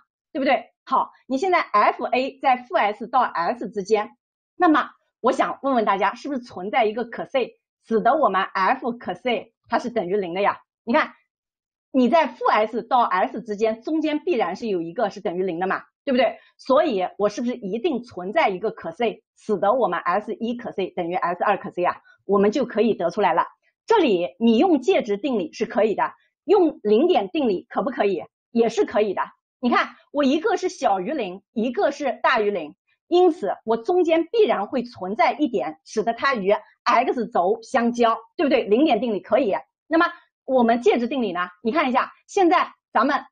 我如果说给大家把这个直角坐标系画出来的话，你看这里是负 s，这里是 s，那么我用介质定理，你想你现在我们 f f x 它是在负 s 到 s 之间，那我把这个图像画出来，是不是必然有一点它对应的是这个零啊，对不对？所以也一样，我用介质定理是可以做的，用零点定理也是可以做的，清楚了没有？所以这道题比较难理解啊，比较难理解，整个过程就是这样的一个理解的过程啊。因此，你看证明的步骤在书写的时候也是一样，都没有什么就是书写的这个步骤，都是没有证明的步骤，都是描述的这个步骤。所以我说这道题步骤分都不太好拿，是不是啊？所以老师再总结一下啊，其实我们想要找的是什么呢？啊，老师再总结一下啊，咱们想要找的就是啊，现在我们想要找的就是 S 一啊，我换一个颜色的笔在这画画一下啊，写的还是啊还是可以的啊。那么来 S 一等于。这个 s 一等于 s 二，这是我要我要想找的，然后我找到一个可 c，对不对？所以我就要去构造构造一个，把这个方程给构造出来啊，把这个方程给构造出来。那么，然后这时我就想，它俩做差等于零，它俩做差等于零，那么就是我想要求的，对不对？这样的一个方程。可是它俩做差等于零这个方程很很很抽象啊，我解不出来呀，我怎么办？这时我就想到，哎，那方程有解，我就可以把这个方程对应的函数。给它写出来，构造出来，那就求这个函数它有没有与 x 轴有交点，对不对？哎，它函数有没有零点，对不对？就可以了。所以我们去书写的时候，那么也就是这样，就是就是描述啊，就说咱们这个曲线它是连续的，因此我们 y 等于 x 加上可 c，它将咱们封闭的这个区域 S 给它分成了 x 一和 x 二两个部分，而我们 x 一、x 二它俩是关于我们可 C 是连续的，每一个部分关于可 C 都是连续的，因此，那么 x 二减 x 一也是关于它是连续的，所以我就构造出一个这样的函数，那么它这个函数呢也是连续函数。我就可以求出它的最大值是 s，然后最小值是负 s，所以我就通过介质定理得出了这个结论。好，那么这是就是整个书写的这个过程，因此步骤分都不太好拿啊。这个这道题确实难，所以这道题只要在上面写字的，基本上都会给一分啊两分的，就只要写字的都会给。像这种分就是不是大家都觉得难，确实是确实是它就是很抽象的，考研的学生这种题都不一定做得出来啊。好，这是我们的第十一题。就给大家讲到这啊，其他的没有什么啊，就是很难啊。好，写个解当然没有分啦，你最起码的像这些话你要写一写嘛，对不对？把图给它画一画呀，是不是？啊，像你写个解哪哪有分了是吧？你你你不是是不是？好，下面咱们来看第十二题啊，十一题老师就给大家讲完了啊。来看第十二题，这道十二题这个文字题它是不是送分的呀？啊来看看一下，写出平行四边形和时速它的定义。并说明定义的方法啊，那么我们来看一下平行四边形，平行四边形它的定义是什么？有一组对边平行且相等，对不对？那么这样的四边形叫做平行四边形，所以这个就写出来了。然后实数它的概念是什么？有理数与无理数通称为实数，对吧？定义的方式分别是什么呢？定义的方法分别是什么？平行四边形这个定义的方法叫做。数加总差定义法，实数这个叫做什么？揭示外延定义法，对不对啊？所以这都是上课给大家讲的。这个七分你一定要拿到，而且要拿全分。好，有一些同学可能会说，老师，这个如果我没有写出来，有没有关系？没有关系，你只要写出揭示外延就行了啊。写到这儿，你看写了大概有四十几个字吧，四五十个字，那么七分就拿到了。好，这个没有什么可讲的啊，就是我们上课的时候给大家讲的。知识啊，你把它写出来就行了，没什么可讲的，也没有什么需要分析的。这是咱们第十二题文字题。那么下面我们来看第十三题。第三十三题，他说，请用维达定理，请以维达定理为例来简述设置选学内容它的意义啊。我现在问大家，这道题你们在考试的时候，在考试的时候有没有这个就是就是自己做的时候有没有思路啊？这道题。啊，有没有思路？就在书上，就是呃，我们讲教学教学知识那章，就是我们第一次就是教学建议和我们这个教学设计那里的第一节课给大家讲的内容啊。第二部分，第二部分高中课标下来就给大家讲的定义啊，高中课标下来就给大家讲的定义啊。好，来，没有思路是不是？老师给你划一下，你思路就清晰了。如果我现在把这个问题这里给大家划掉，你不要看这，叫做请减速。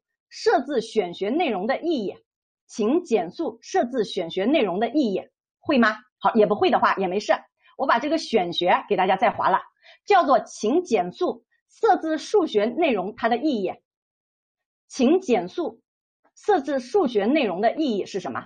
这个知识老师上课的时候在哪给大家讲过？数学内容它的选择的依据是什么？数学内容选择的影响因素是什么？在哪给大家讲过？你看。那个知识点可不可以用来答这道题啊？所以有一些同学说，老师你给我们的这个简答题太少了。其实老师给大家给大家的简答题，你变变形就是一个新的题目呀。你看他把它一变，是不是这个题目？他把它一变，是不是这个题目？所以你想一下，如果我现在换一下，叫做请用勾股定理来阐述一下咱们数学内容它的设计的意义，请利用。平行四边形性质来阐述一下我们数学内容设置的意义，可以变的题目就太多了，对不对？哎，呃，我们这个英文老师他说的非常正确啊，虽然是英文名字，但是数学掌握的很好。所以，我们是不是可以从这三个角度来阐述我们选修课它的意义、内容设置的意义啊？符合社会的需求，符合我们咱们就是社会发展的这个需求，符合我们学科。它的内涵以及符合我们的这个心理特征，是不是好？很明显，这个维达定理好像跟我们社会没关系，对吧？所以社会我可以不写，我只写两点，行不行？完全可以。好，这道题咱们怎么答呢？怎么答呢？上来，如果你没有什么想法，我们刚才有一个同学在公屏里面说的非常好，他说我没有什么想法，我现在直接把维达定理默写出来行不行？你把维达定理默写出来，你就可以拿分了。那么我们选修选修的内容啊，选修的这个内容的当中，在考试时啊，就不是在考试时啊，就是选学的这个内容，供我们学生选选择的这个内容。那么维达定理它指的是什么意思呢？指的就是当我们知道了一个方程它的表达式的时候，我们就能够表达出它的根与系数之间的关系。比如说这个表达式是 a x 的平方加上 b x 加上 c。那么等于零，a 不等于零，这时我就可以得出 x 一加上 x 二等于什么？然后 x 一乘 x 二等于什么？好，这是维达定理，对不对？它的逆定理你要是知知道，你也可以把它背下来，把它默写下来。好，那么直接把这个默写下来。好，这个内容作为作为选学的内容，它具有的意义如下。好，然后你再你再写几点啊？即使你啥不知道，你这时候你是不是框片几条上去？像这样书写出来的，像这样书写出来的，三到四分是可以拿到的。啊，清楚没有？啊，清楚没有？维达定理老师在上课的时候给大家讲了啊。好，那么我们把维达定理首先答出来，完了之后就说啊，这样的选学内容，它是它设置在我们就是设置我们选学内容它的意义如下啊。第一条呢，就根根据我们数学学科的这个内涵是相关的。我们在咱们我们就可以写我们在必修里面学生需要掌握的相关的这个数学知识，体现的是什么？体现的是。全面性和系统性是不是我们给大家讲的广和深，对吧？啊，我们数学的内容要求广和深，是不是我们就体现出来了啊？是全面的，是系统的，有深度的啊，知识之间是相互联系的，由浅入深的。好，这时你就可以这样来进行书写。但是我们设置选修内容，就是为了给学生提供一个多样性的选择，好，把它一写就行了。所以第一个就可以这样呈现，哎，也就是说与我们学科特征。它的内涵有关的，你就这样写好。那么跟我们学生心理生理发展的这个特征有关的，咱们为什么要设置选修的内容啊？想想看，为什么？其实是不是就是为了来拓展我们学生呀？对不对啊？来使他的思路更为开阔，然后培养他的个性，然后发展他的兴趣、他的特长，对不对啊？所以我们每一个学科都是希望咱们的学生呢，能够就是发挥他们的特长，根据他们自己的兴趣爱好来体现他们的不同之处。好，所以你就可以这样来写，拓野我们的这个，拓宽我们学生的这个知识视野，然后开设丰富那样、丰富多样，然后内容有弹性的这样的选选修的课程，然后促进我们学生潜在的这个能力以及他们个性的这个特长充分的这个发展就行了。好，那么你用自己的话把它表达出来就可以，就是这些话你可以去读一读，如果自己说不出来，就是写不出这些话，没事，你用自己的语言，用上课老师给大家讲的那些语言把它表达出来即可啊，清楚了没有？好。那么这时最后的时候，你还要总结一下，那他不是让我们以维达定理为例嘛，对不对啊？你看我刚才把维达定理默写出来了，然后讲了两点选学内容它的意义，然后接着我就以维达定理为例，它怎么体现出选择的这个多样性呢？好，这个内容的选择，它可以为我们高中学习解析几何是吧？平面几何做铺垫啊，另外呢也能够。培养我们学生，这个就是啊，比如说他学习数学的这个积积极性，然后能够激发他研究数学的动力，好就行了。好，就这些，回去之后把它读一读啊。就是潜力说的，哎呀，老师，我有点想不到这么多点，没事，你用自己的语言能把它表达出来，写上，那么相应的三段话出来就行了啊。所以，首先第一个就是把维达定理是什么表达清楚，然后就说啊，这以维达定理为例，我们这个选修课程它设置的意义是什么呢？第一点就是满足我们学科的特点。啊，那么从知识与技能这个角度出发的，好，第二个呢，就是符合我们学生他的心理生理发展的特点，是发展我们学生他的特长以及兴趣的，培养他的个性的，好，知不知道？说一下，那以维达定理为例，这个内容的选择学习，可以为我们到高中时学习什么什么做铺垫，而且也能够激发我们学生他的学习的动力，好就行了。所以把这个简略的简简略的用自己的语言把它表达清楚即可。好，这就是我们文字题啊。下面我来给大家总结一下，咱们简答题给大家讲完了。那么简答题老师要求大家拿多少分呢？你看刚才的那两道文字题十四分，我想你们拿到十一分，就是十分到十二分，应该没有什么问题吧？对不对？好，应该十分到十二分没什么问题，就是反正说你拿个十分加，对不对？好，那么我要求大家是什么呢？三十五分，你只要拿到二十一分就行了。也就是保证拿到二十一分，基本上你就能够过了。你看加上前面的三十分，你就已经得到五十一分了啊！你要知道我们后面还有多少分呢？还有多少分？你这里如果拿到五十一分的话，你算一下后面还有七十五分呢，对不对？你七十五分只需要拿四十分，你就肯定稳稳的能过了。理解老师说的这个意思吧？啊，所以这个就是要求大家啊，三五道简答题三十五分拿二十一分就行了。好，下面呢我们来看简答题。一般情况下，我们考试的时候十分的简答题，说实在的，如果你能拿到四分，就非常不错了啊，拿到四分就非常不错了。哎，一般情况下，很多同学可能拿两三分。咱们来看一下这道题，我们能拿几分呢？啊，来看啊，叫让我们计算的是什么呢？首先第一个给出来了，我们线性空间 R 三，然后已知向量是这个，然后向量是这个，然后向量是这个。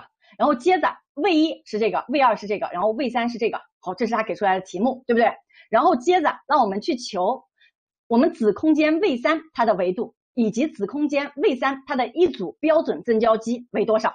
好，我现在问大家，维数还知道是什么意思吗？还知不知道维数指的是什么意思？清楚吗？就是它的一组积个数，对不对？啊，还有印象没有？哎，说到这，能听得懂的给老师打一，听不明白的给老师打二。就让我们求子空间它的维数，我掉线了吗？子空间的维数，好，有一些同学这又有点不会了啊。维维，我们子空间的维数，维数指的是什么呢？就是它的一组积，它的一组积，然后积的个数啊，积的个数啊，就是指的个数。好，对，很多同学已经到了字字的这个矩阵的字了啊，已经到这个程度了。那么你就清楚啊，是个数，让我们去计算它的积的。里面一组积积指的是什么？指的是一组线性不相关的这样的方向量组。那么其他的向量，这个子空间里面其他的向量都可以由这一组积表示出来，对不对？我从我从这个子空间里面任意写出一个向量，比如说一塔三，任意写一个向量一塔三，它是不是就可以由积把它表示出来？对吧？啊，比如说 k 一，然后阿尔法一加上 k 二阿尔法二等等这些，这是老师在上课的时候给大家讲的。好，这个就是积啊，然后接着积的个数就是我们子空间它的维数。下面我们来看这道题，咱们这个 V 三在哪呢？在这儿呢，对不对？好，拿分点来了啊。其实你也不会不会算，但是没关系。那么我可不可以？你看 V 三它等于什么？等于 T 一一塔一加上 T 二一塔二，对不对？好，那么这时我们把 V 三它的形式告诉我们了，一塔一和一塔二指的是什么？你看一塔一在 V 一里面，在这个里面，一塔二呢在 V 二里面，对不对？所以我们直接就可以把一塔 V 三给它表示出来。所以我们现在在我们 V 三里面，可不可以任意选一个向量啊？假设说是一塔三，一塔三它等于什么？等于什么？是不是就等于 T 一，然后是一塔一？加上 T 二，然后是一塔二，对不对？好，这步你总归会写吧，对不对？啊，不是说了吗？V 三它是等于这个的，所以我现在在 V 三里面任意的选一个向量一塔三，它就可以用一塔一和一塔二表示出来。那么一塔一和一塔二又表示什么呢？它是一塔一来源于 V 一，因此我们 T 一就要乘 V 一里面的东西，所以也就是罗密达阿尔法一加上 U 阿尔法二。对吧？好，然后接着一塔二指的是什么呢？指的是咱们 V 二里面的东西，对不对？所以也就是 T 二乘 K，然后再乘上阿尔法三。如果我把它展开的话，也就是 T 一乘罗密达，然后乘上阿尔法一，加上 T 二 T 一乘缪，然后阿尔法二，再加上 T 二 K，然后是阿尔法三。好，到这一步能不能跟上？你看，如果说你写到这一步的话，基本上。根据我们试卷这个阅卷的情况，就会给你一到二分啊，给你一到二分。你看这个就是带路，对不对？把它写出来就行了。好，写到这里，我们来观察一下，咱们 V 三里面任意的一个向量，它是不是都可以由这个表示出来呀？对不对？是不是都可以由这个表示出来？好，这是向量，这是向量，这也是向量，所以前面这个是不是系数呀？前面这个是不是系数呀？前面这个是不是系数？所以既然是系数，我可不可以写成 k 一，然后是阿尔法一加上 k 二阿尔法二，然后加上 k 三阿尔法三。好，到这一步能不能理解？就是你既然都是系数，那我就不不要这么多系数了，我我令 t 一乘 lambda 等于 k 一，令 t 一乘缪等于 k 二，可不可以？完全可以，对不对？然后令我们 k 三它是等于 t 二乘 k 的，所以这时我是不是就可以得到？来啊，有一个同学说，老师再讲一遍，这个就是一个带路的过程，你自己写一下啊，潜力你自己写，就是一个带路，没有任何思想在里面。好，如果老师现在把刚才的这个一踏三重新写一遍的话，那么就是 k 一阿尔法一加上 k 二阿尔法二再加上 k 三阿尔法三，我想问大家。这儿你能够回忆起我们上课的时候给大家讲的什么知识？也就是说，一个向量它可以由另一些向量组把它表示出来，对不对？是不是？也就是我们 V 三里面它的向量，V 三里面的向量，那么所有的这个向量，任意的一个向量都可以由阿尔法一、阿尔法二和阿尔法三把它表示出来，对不对？好，如果说现在阿尔法一、阿尔法二、阿尔法三它们自己是线性无关的。那么我们阿尔法一、阿尔法二、阿尔法三是不是咱们这个子空间 V 三它的一组基呀？对不对？是不是？从这里是不是就可以得出这个结论？如果说它们是线性无关的，那么它就是我们 V 三的一组基，因此 V 三的维数就等于三，对不对？如果说它们是线性相关的呢？好，这时它们极大线性无关组就一定是我们 V 三它的一组基。啊，所以这时我们直接就是求咱们阿尔法一、阿尔法二、阿尔法三，它是线性无关的还是线性相关的？好，有一些同学说，老师，其实你刚才讲到的这些地方我都有点没有听懂，没听懂没关系，我现在给大家说一下啊，遇到这一类题目，我们已经总结出来规律了。比如说那天老师给大家讲的一个正交基的题目，它是不是给出了一个咱们的这个向量，对不对？然后让我们费了好大的劲。求出来之后，我们发现就是对这一组向量来求正交基，是不是？那么这里也是一样，我们发现理解了刚才一大陀螺，理解了好多，发现其实还是回去求这三个向量它的值，所以以后遇到这一类题，直接算字就可以拿到步骤分了，清楚了没有？好，那么接着你直接，当然你刚才这个带路你肯定要带一下嘛，是不是？你直接带带进去之后，那下面我就不给大家写了啊，我就以这个为例，那么。你直接带是不是就带到这一步，对吧？直接带给它带到这一步，因此你就可以说一塔三它是属于我们 V 三的，也就是说它是我们子空间里面任意的一个向量，因此我就可以得出是可以用阿尔法一、阿尔法二、阿尔法三来进行线性组合的啊，就是它可以线性表示出我们的这个一塔三，因此它的字就等于我们这个 V 三它的维数，所以你直接把这个写出来就可以了。直接把它写出来，因此我们直接算它的字。好，来算一下它的字，想一下，你看一下是不是用我们行阶梯形矩阵啊？这里老师就不给大家再算了啊，行阶梯形矩阵就是以它作为我们的基准，然后乘负二加到第二行当中去，乘负一加到第三行当中去，然后就可以算了。所以我们发现它的字是等于二的，因此那么我们就可以得出 V 三这个子空间它的维数是等于二的，所以二就有了，清楚了没有？所以以后。就是这是一七年下半年考的，一八年下半年有没有可能考？也有可能考，所以以后他给你一组向量，那么中间给你来了很多加加大难度的，那么接着你就把这个该带的你会做的步骤你给他写一写，不会的直接就把这个向量的字求出来，然后就说维数是这个啊，中间漏的这个步骤分他可能会给你扣掉，但是最起码你这道题能拿到三分左右啊，扣一个一分也没什么，是不是？好，下面我们来看。既然我们已经求出了子空间它的维数了，那么也就是说它的一组基里面有几个向量啊？有两个向量，对不对？所以它让我们求一组标准正交基的话啊，让咱们去求一组标准正交基的话，那么我们以你看，既然是两个向量，老师说过就是它的极大线性无关向量组，所以直接就是阿尔法一、阿尔法二。好，如果到这有一些小伙伴也不能理解的，没事儿。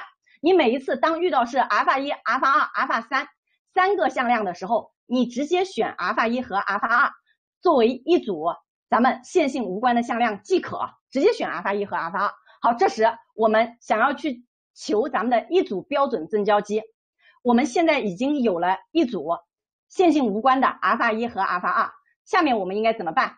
是不是套公式求它俩两两正交？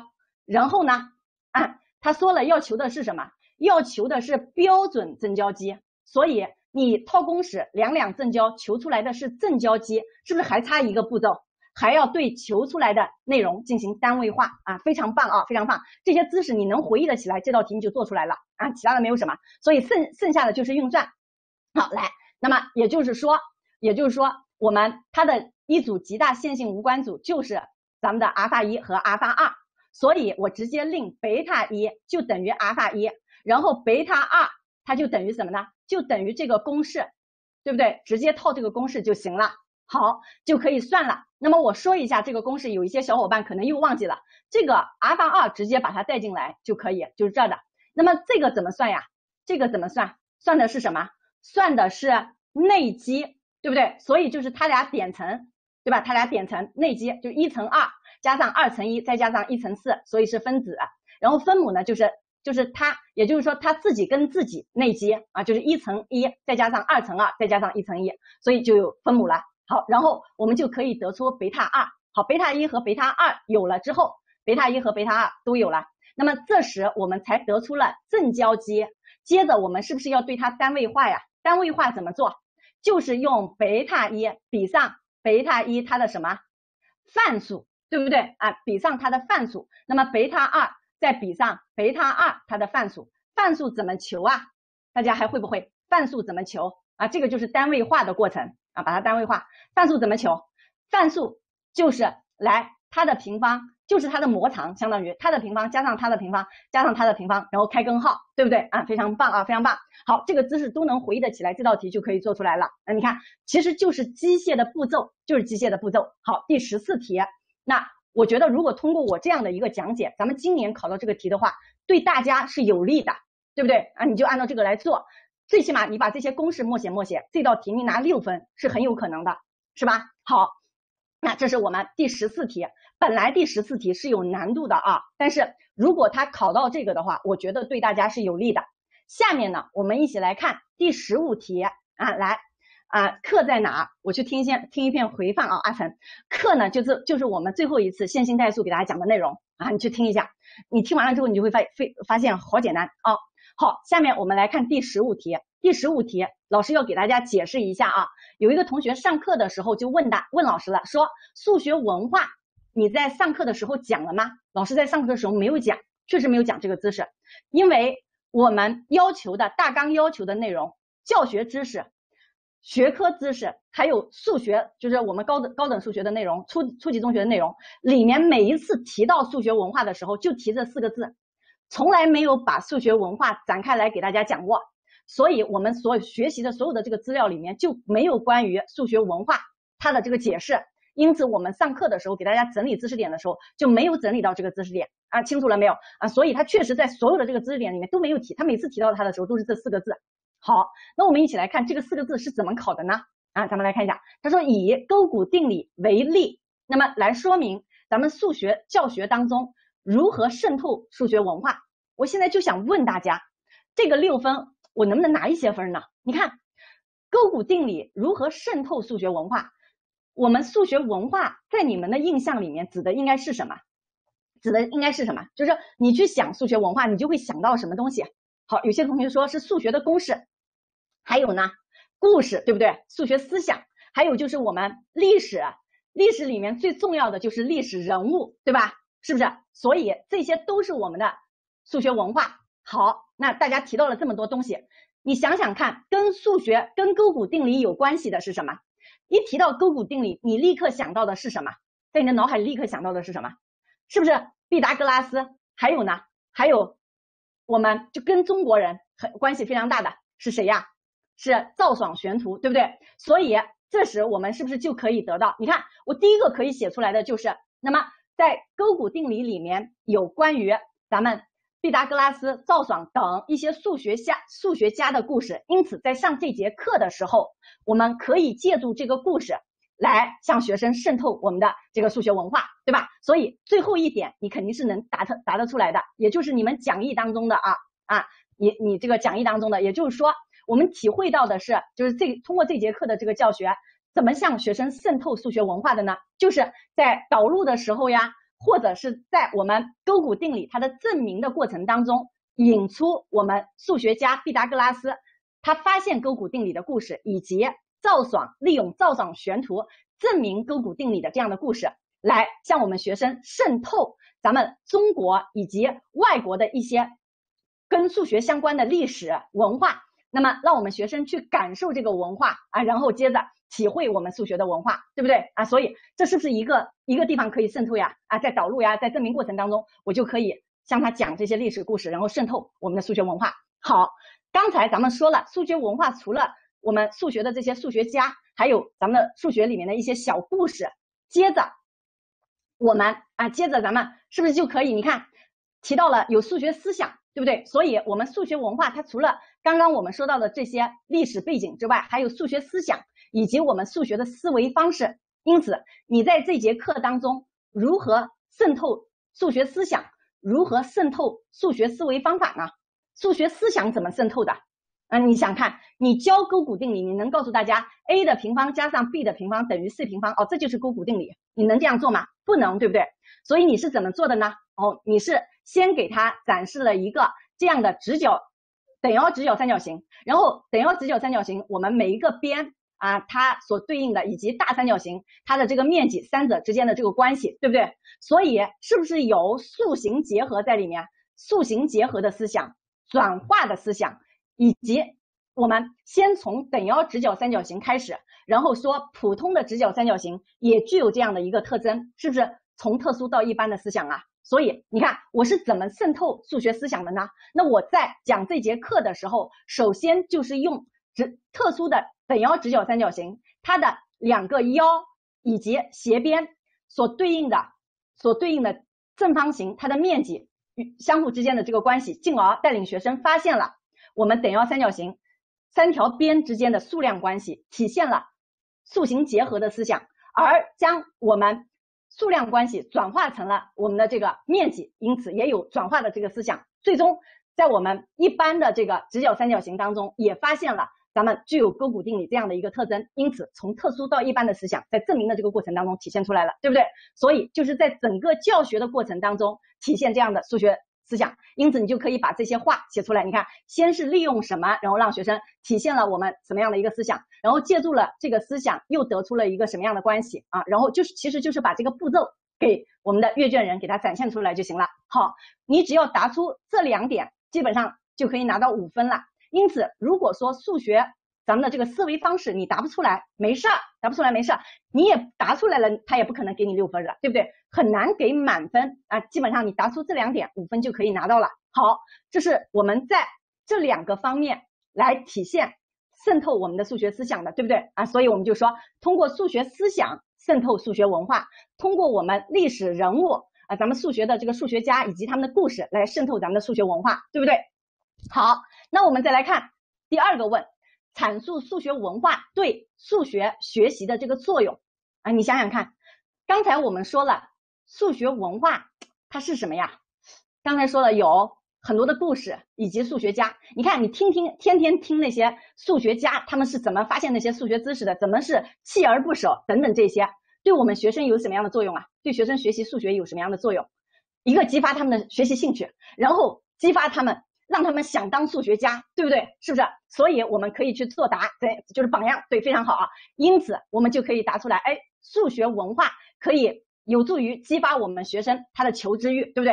然后，数学文化有助于培养他们的创新意识和探究精神。好，这个是数学故事呀，这些东西，它对我们学生的一一种促进，是不是？每天听数学故事，每天听数学家的故事，学生就特别爱上数学课。如果今天没有讲，学生就不爱上，是不是？好，那么一样的。那数学文化除了这些故事之外，是不是还有数学思想，还有数学咱们的这个思维？所以数学思想和数学思维，它是不是培养我们学生的数学素养啊？对吧？以及深入了解咱们数学的这个特点啊？因此，我觉得这个题目啊，再考大题的可能性不太大。但是，即使考到的话，你按照老师这样来进行分析，你在考试的过程当中有没有话可说？有没有话可写？完全是有的。对不对啊？所以你只需要就是，比如说像手君说的，老师，我只把你划线的这个部分答出来，得分可以吗？当然可以啊，当然可以啊，你得出来的分还不还不低呢。你把关键点都已经维度都已经答出来了，那么当然你除了要把老师画出来的这个横线打出来，你不能干瘪瘪的呀。你还得围绕他说上几句话呀，对不对啊？比如说这个就是啊，比如说如谁谁谁这些人，那么啊让他体会到这个既就是很有趣，又能够以他们为榜样，树立学好数学的这个自信心，是不是可以写这些话啊？所以这就是我们在上课的这个过程当中，怎么体现了数学文化它的作用啊？就在这些方面体现的。通过我们体会数学文化，就可以激发学生学习数学的这个求知欲，激发他们的探究精神，然后体会我们数学的思想，也了解数学的特点。好，十五大题论述题就给大家讲完了。那你看，即使你没有听过这个知识，你只要认真分析这个题目，你是有话可说的。所以不要指望就是真的你能够把论述题啊或者什么题给压中，基本上都是靠我们平时学习的课标里面的内容。啊，课标学习里面的内容以及我们教学的原则，都是通过这些组织出来的。好，这是第十五大题啊。那接着咱们来看第十六大题和十七大题。老师今天拖一下堂啊，啊，因为呃要讲十七个题，而且每个题都是有难度的真题，就是它是比较耗时的啊。好，咱们来看一下啊，我们把这个就是嗯一套真题讲完，保证完整度啊。咱们来看第十六大题，是咱们案例分析，对不对？多少分呀？多少分？二十分是不是？老师要求大家，一般情况下你拿一个十分加就行了啊，就是拿一个十十一二分啊就可以了，十三四分就可以了。基本上通过我们的这个学习，基本上能拿到一个十二三分、十三四分啊是没有什么问题的啊。下面咱们来看，叫某学校初二年级数学备课备课组针对一次函数你对兴趣班他的学习上一次拓展课，经过讨论拟定了如下教学目标。好，第一个教学目标是进一步理解一次函数，它的解析是 y 等于 kx 加上 b，它当中参数的含义。好，然后接着探索两个一次函数图像它的位置关系。那么教师甲是怎么做的呢？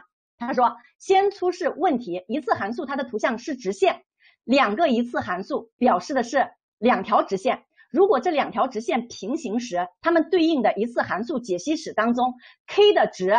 啊，k 的值它的特点是什么？好，然后得出一般结论：若函数 y 等于 k 一 x 加上 k 二 x，y 等于 k 二 x 加上 b，b 二这个 b 二，那么所表示的两条直线是平行的，则就有 k 一和 k 二它是相等的。接着通过具体的案例，让学生来体会我们参数 k 它它的含义。好，那么这是我们教师甲他的做法，然后教师乙他是怎么做的呢？啊，让大家在统一直角坐标系当中做一次函数。体会 k 的含义，画出这几个函数图像，然后观察每一组函数它两条直线之间的位置关系，体会 k 的含义。这是教师甲和教师乙他们不同的做法，对不对？好，问的问题是什么呢？问的问题是对该备课组拟定的教学目标进行评析八分，然后分析甲乙两位老师他的教学思路、他的特点十二分。好，我现在想问大家，现在他让我们评价的是什么？评价是什么？是不是上课的时候老师给大家讲的，会给我们教学目标，然后让我们去评价教学目标，对不对？那他现在给了教学目标，这个教学目标，那么然后让我们评价这个教学目标。现在老师想问大家，我们每一次评价一个东西，大的思路是什么？大的思路是什么？啊，来说一下大的思路是什么？啊，我们评价一个东西，大的这个思路是什么？老师昨天晚上才给大家讲过。我们是不是先表扬他，然后批评他，然后提出建设性建议，对不对啊？非常棒啊，非常棒。好，那么我们首先来看一下表扬他，他的这个，你看他现在写出来的这个三维教学目标，首先大家都发现了，只有知识与技能目标，对不对？哎，没有三维教学目标，他没有三维教学目标，对吧？所以你看这两个目标是不是只有知识与技能目标？它有没有过程与方法目标和情感态度与价值观目标呀？没有，对不对？所以表扬什么，批评什么，我们现在是不是思路很清晰？表扬什么？表表扬他写出来的三维教学目标里面，知识与技能目标写的特别好，对不对？所以他这个知识与技能目标，你看他让学生进一步理解这个参数它所表示的这个含义，对不对？所以好，对不起大家啊，我可能声音讲的有点大啊。好，那么我们首先来表扬的就是它三维教学目标里面知识与技能目标设置的非常全面，对吧？它让学生理解了我们一次函数它的解析时里面参数所表示的含义，并且还用一次函数的图像帮助学生去理解参数它表示的这个含义，对不对？所以它设置的非常全面，因此就可以体现出，那么它让学生通过学习体会到我们 k 和 b 对我们一次函数它的图像的作用，是不是？所以你这时候就可以对这个来进行点评。因此我们写的时候，你就可以说，哎，他所拟定的这个教学目标呀，非常的好。怎么好的呢？他说这个在解析史当中，两个参数进行再探究，然后发现我们 k 和 b 它的性质决定了我们这个图像它的这个。就是咱们这个函数它的图像，对不对？好，因此提提醒我们学生在探究 k 和 b 的这个作用当中，来获得了更直观、更深层次的一个认知，符合我们学生他的认知规律啊，所以就表扬他知识与技能目标写得好，然后接着干什么呢？是不是就要批评他了？哎，咱们新课标强调了，我们学生除了在课堂当中要掌握知识之外，技能之外，我们要能够让我们教学目标全面整体的实现。我们除了知识与技能目标之外，咱们还有什么？还有数学思考、问题解决与情感态度这样的三个目标。而这个老师他在设置的时候没有注意这三这另外两个目标的设置，是不是？啊，因此他应该设置出过程与方法目标如下，情感态度与价值观目标如下。所以第一个点评是不是点评完毕了啊？所以上来先表扬他，然后接着说他没有他没有符合我们新课标的要求，只完成了一个目标。另外的两个目标没有完成，或者说没有制定，因此不符合我们新课标提到的要教学目标整体实现。好，这时你就可以说了，那其他的两个目标应该制定为什么啊？这个就按照我们的模板来就可以了啊，按照模板来就行了。好，那么下面让我们评价这两个老师他的教学的这个思路。我们来看一下这两个老师他在教学的这个过程当中，哎，你看看第一个老师怎么做的呀？第一个老师怎么做的？啊，直接呈现了这个问题，然后得到了这个一般性的这个结论，对不对？好，然后接着通过实例来让学生体会 k 的含义，所以他是不是采用的是讲授法呀？就跟昨天老师给大家点评的那个老师是一样的，对不对？啊，因此对于程度比较好的学生，他是能够接受的，也能够通过实例体会参数 k 它所表示的这个意义。啊，但是对程度差的同学可能就会这个就是不清楚啊。他在教学的这个过程当中，那么采用的是讲授法，非常明确的将知识点呈现出来了，简洁明了啊，把我们今天所学习的教学目标以这样的方式立刻就呈现出来，呈现在我们学生的面前啊。但是啊，是不是就要开始批评他了？但是这样的，哎，我们学生已经已经提出来了，阴阳就说啊，学生是被动的，对不对啊？是被动的，我们学生在学习的过程当中显得过于机械，是不是？好，没有体现出以学生为主体，那么没有有效的这样的一个教学活动，使得我们教师教和学生学进行统一，所以他应该组织相应的活动，组织学生来将这个知识探究出来，对不对？好，这个就是你的建议了啊，这是我们教师甲，因此他现在让我们评价两个老师，你每一段就可以写的少一点。好，下一个评价乙老师，其实乙老师他的做法好不好呀？他的做法好不好？是不是挺好的呀？他是满足我们的需求的，是不是？你看，我他是让大家先动手操作，然后接着那么观察，哎，这个是符合我们新课标的要求的。我们新课标强调了，咱们的学生他不仅不仅要掌握知识，更重要的是要能够体会这个知识它的产生过程以及其中蕴含的这个数学思想。这位老师他的做法呢，就体现了我们以学生为主体，组织了学生进行各式各样的活动，然后最终探究出了这个。咱们的这个就是问题的这个结论，对不对啊？可以表扬他，表扬他的话可以说的非常多，但是要不要也要点评他一下呀？你看这个时候你就可以说一下他呀。我们给大家六点呢，是不是啊？啊，就是你可以通通通通过六个方面。那么你看一下这个老师把问题提出来了之后，他有没有有没有然后说这个老师怎么做的？这个老师有没有具体下面再怎么做？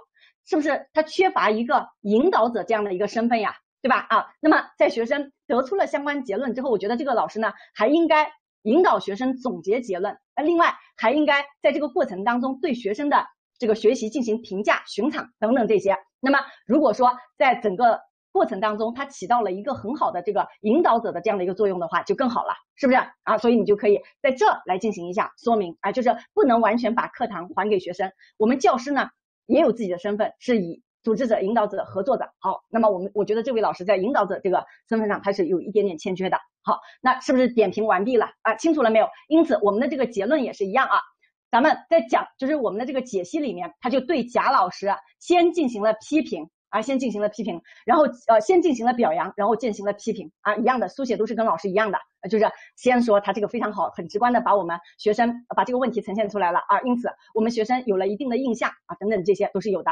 好，我们李老师也是一样啊，先对他进行表扬，呃，然后接着呢，可以适当的来说一下啊，就是他在整个过程当中还可以怎么做啊，其他的没有什么，这个就是我们案例分析，你看用到的是不是老师给大家讲的？所以。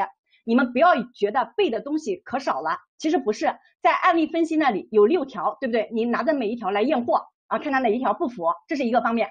另外一个很重要的就是，我们说了有六个维度，后面是不是就让大家来每一个维度是不是有有一些话要让大家会背，对不对？那么你每一次去说的时候，跟课标有关的那些话，你就可以写上来，清楚不清楚啊？清楚的小伙伴给我打一，我来了解一下情况。你看我在后面就一个 PPT 就给大家整理出来了。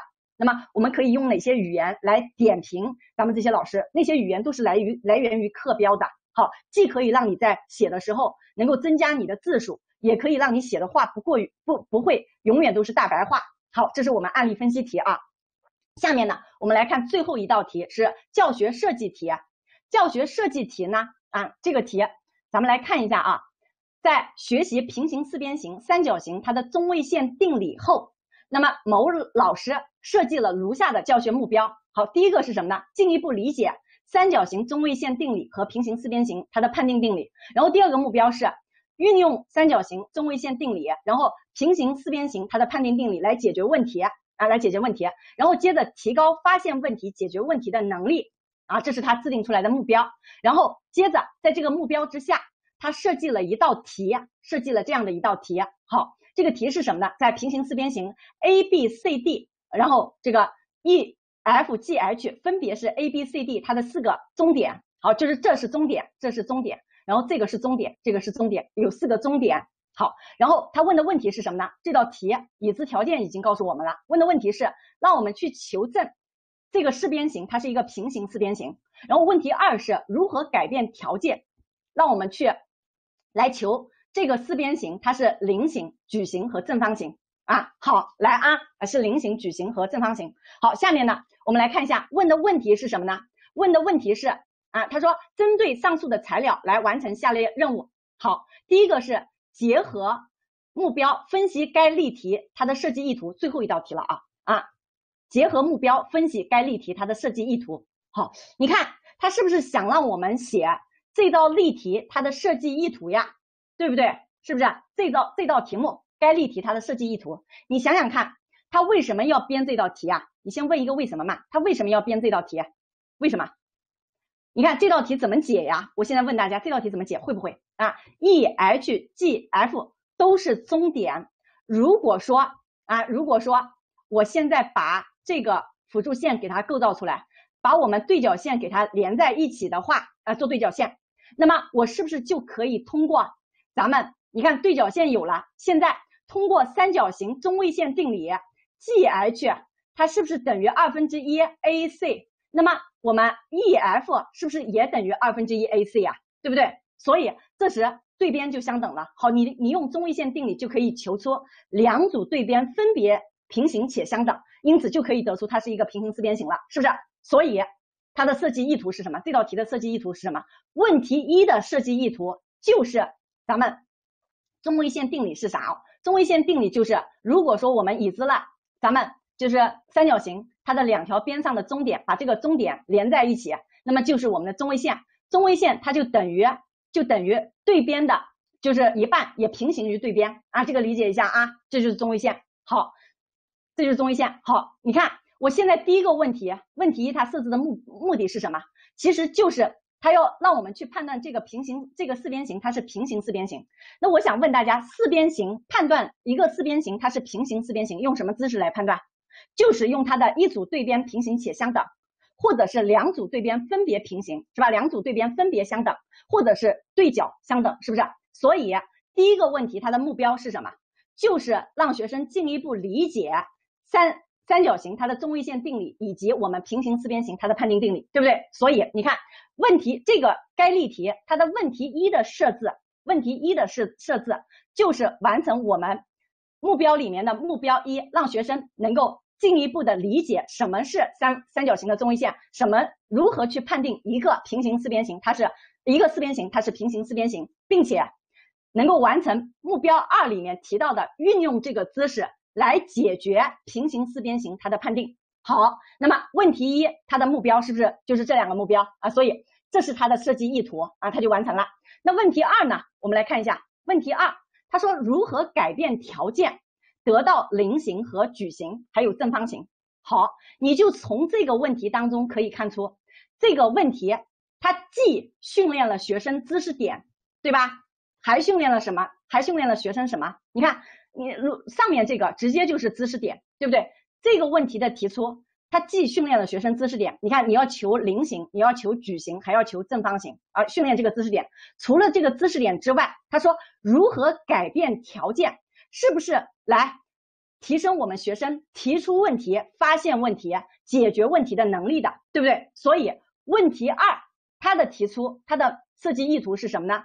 既能够让学生了解如何从一个平行四边形去判定这个平行四边形增加什么条件可以得出这个平行四边形它是菱形、矩形还是正方形，对于这一知识点进行了一个深入的这个研究。那么这是它的第一个设计意图。第二个设计意图是这道题很明显它是一题多解的，那么而且是需要我们学生自己去拟定条件、自己去发现、自己去思考的，因此它。完成了我们课标目标三当中提出的提高发现问题、解决问题的这个能力。好，发散思维是不是都可以？所以你就可以写出，哎，我们解决就是这道题目的第一个问啊，所以它的设计意图就可以写下来，其实就是能利用就是三垂就是三角线中位线定理和我们平行四边形判定的这个定理来解决这个问题。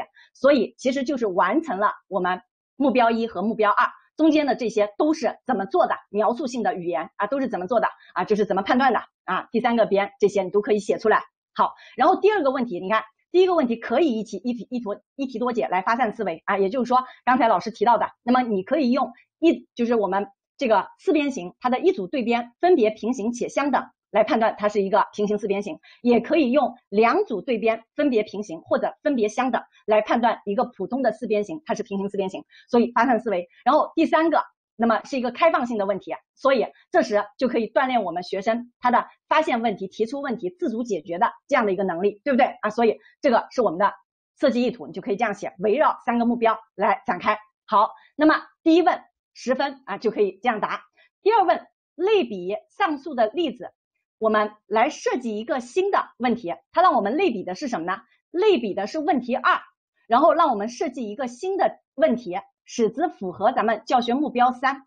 教学目标三指的是什么？指的是提高发现问题和解决问题的这个能力，对不对？这个是咱们目标三。所以你提出来的这个问题能不能是一个死板的问题啊？也不能是一个死板的问题，你也要能够仿照它提。那我现在问大家怎么提啊？啊，想想看。你也能我仿照它提，它现在告诉我们的是 E F G H 是这几个的终点，我可不可以可不可以再加一下？我说现在我还有四个终点，那么哪四个终点呢？我这个 O P Q，然后 M 是我们 E H，然后是 H G，然后这个终点，好，我把这四个终点给你找出来，对不对？然后我说这四个终点连在一起所形成的图形，增加了什么条件的情况之下？它是一个菱形，它是一个矩形，一个正方形，一个平行四边形，可不可这样？可不可这样？完全可以吗？对不对？你让我求的是这个，它是一个矩形，它是一个菱形，它是一个这个正方形。好，我现在在你里面，我再画一个图形，我再画一个，那么我是不是又又可以了？嗯，就可以啊，就可以。所以编题的时候千万不要死抠啊，想不到想不到，要是有手机就好了，我可以百度一下，对吧？其实你就你就仿照它，完全跟它一模一样，我来一道不就结了吗？对不对？好，这个是可以的啊，这个是可以的。所以，那么第二个编题目就解决了。那我们书上就讲义里面给你们的答案是这样弄的啊，答答答答案是连接了它，连接了它，然后求这个的终点，这个的终点，这个终点，这个终点，然后把这个终点就是把我们对角线这个 A B C D 这个对角线，然后它的终点给连在一起，然后让判断这个。图形它是什么样的一个关系啊？所以这个就是跟老师这个其实意思就是翻版，就是对它又是一个翻版，就翻了好几个版，对不对？好，第二个问题给大家讲完了，下面我们来看第三个问题。他说设计该题该例题简要的教学流程。那么你看是不是跟我们昨天晚上给大家讲的真题是一样的？让我们设计的是教学流程，对不对？好，你就说你准备怎么讲这道题，就是我们的教学流程。然后说并给出解题后它的小小节的这个提纲。那么有个同学导入，他现在说的是什么？让我们设计该例题它的教学流程，跟导入有关系吗？就是这这道题你怎么讲的？你把你这道题怎么讲的流程给人家说清楚就行了。所以你看这道题我是怎么讲？好，有有有一个误解啊，有一些同学会认为老师这个该例题我是讲第二个我编出来的例题呢，写这个流程呢，还是讲第一个我这个就是呃，也就是说他给的这个例题呢？我觉得是应该给这个啊，就是该例题，因为他已经在前面说了一次嘛。该例题它的设计意图是什么，对不对？然后这里他又说了一次该例题，所以一定是他给出来的例题。你要知道，如果都是讲个人编的，那我们阅卷人得崩溃死，是不是？大家编的都不一样，那不完蛋了，阅卷人咋阅卷啊，是吧？啊，所以这个时候肯定就是这这道题啊，肯定就是这道题。好，这道题咱们怎么讲呢？我们教学流程是什么？教师活动首先是什么？教师活动就是在大屏幕上先把这道题给它呈现了，已知条件给它呈现了，对不对？那么你为了能够写尽量多一点的字，那一共你看有十二分这么多呢，我是不是可以把问题一和问题二给它变成两个环节呀？对不对？是不是？我可以把问题一和问题二给它变成两个环节，因此我就可以说，那么利用大屏幕向学生展示例题的已知条件以及问题一啊，向学生提出如何判定一个平行四边形它是平行四边形呢？你有什么想法呢？根据已知条件。你能够想出解这道题的思路吗？啊，组织学生与自己的同桌进行独立思考，然后与自己的同桌进行交流。在交流完毕之后，请他们起来汇报，然后请个别学生上台板演啊。最后，教师与学生共同的来进行点评，然后总结解题的步骤，是不是就可以？所以我们去写的时候，你就可以这样去书写啊。整个过程跟咱们讲义里面的答案是一样的啊，跟咱们讲义里面答案是一样的。也就是说，先呈现图片和问题。然后引导他们回答一些这样的，就是降低题目难度的一些问题，引导性的问题。好，构造的这个三角形，它的中位线是什么呀？好，有些同学说，老师，你看他提的这个问题，我也提不出来呀。比如说，如何添加辅助线，构造三角形它的中位线等等这些，我也提不出来。你提不出来，你可不可以按照老师刚才那样提啊？完全可以啊。哎，怎么去判断一个三角一个平行四边一个四边形它是平行四边形呢？是不是？那么，然后接着，好，这时需要写教师。活动需要写学生活动，那么你就可以把板演的过程是我们学生的活动啊，理解这个意思吧？啊，我之前就给大家说过啊，你不会写这个证明的题目，那么你就不写这个板演的过程，那你就用啊相对而言比较笼统的话把它说出来就行了，利用大屏幕向学生展示整个解题的步骤，那么在最后进行总结就可以。好，如果说我们考试的时候你会写啊，你会写，那你就要把这个给它写上去。好，这是第一个问，对不对啊？第一个环节就结束了。下面我们来看第二个问啊，第二个问是添加了什么样的条件，使得我们这个 E F G H 它是菱形，然后矩形还有是正方形，对不对？所以一样的。那么在学生在学生得出了 E 这个这个图形它是平行四边形之后，那么向学生提出你能够添加什么条件，使得这个四边形它。变成菱形了呢？通过证明之后得出它是菱形了呢？向学生提出，那么我们如果想要证明一个平行四平行四边形是菱形的话，它需要什么条件呢？对不对？如何判定平行四边形是菱形呢？其实很容易判定，只要这个平行四边形它的一组对边啊一组邻边是相等的，那么它就是菱形，对不对？所以回到我们题目当中来的话，回到咱们题目当中来的话，也就要求的是什么？也就要求的是我们对角线是什么样的关系？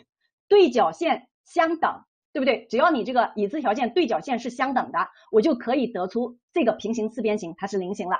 所以你看，我我是不是就可以提出这样的这个问题，来减轻学生思考的这个压力啊？如何判断一个平行四边形它是菱形呢？好，那么有了这样的结论之后，我们需要增加一个什么条件呢？好，组织学生前后四个人为一个小组来进行这个探究，然后。在探究完毕之后，那么呃进行汇报，进而向学生进一步的提问啊，如何去判定一个平行四边形它是正方形，它是这个矩形呢？好，组织学生这个，然后类比得出相应的这个结论啊，然后接着就可以进行总结，然后点评反馈就行了啊。所以我们去书写的时候，整个流程也是这样的啊，整个流流程也是这样的。对角线如果是垂直的话，我们得到的是什么呢？哎，你这个对角线，老师把这个题给大家说一下啊。你这个对角线来，你看我说的这个对角线指的是什么？指的是这个对角线啦，AC 和 BD 呀。同学，今天和我的小鱼干体会了没有？啊，体会了没？所以你清楚一下啊，清楚一下啊！我不我指的不是菱形它的对角线啊，菱形的对角线的确是垂直的啊，但是但是你现在想增加一个性质的话啊，增加一个条件的话，我只要 AC 它是等于这个 BD 的，我就可以得出咱们这个四边形它是一个菱形，对不对？如果我能得出 AC 它是垂直于 BD 的话，那么我就得出它是矩形啊，它是矩形。如果我能得出它既相等。又垂直，那它就是一个正方形，好就有了，对不对啊？所以我们第三个问的第一个环节就给大家讲完了，然后得出最后的这个结论，就是老师刚才给大家讲的这个结论啊，解题的这个小节提纲，那么你就可以得出，要想判断一个平行四边形啊，要想判断一个四边形它是平行四边形，只需要引导学生能够得出这个四边形它的一组对边相等，或者是就是从角。或者从边的角度来思考，那么寻找相等量或者是平行量即可。那么想要判断一个四边形它是平行四边形的话，只需要判断一组对边是否平行且相等，或者是两组对边分别平行且相等。好，这是第一个小节。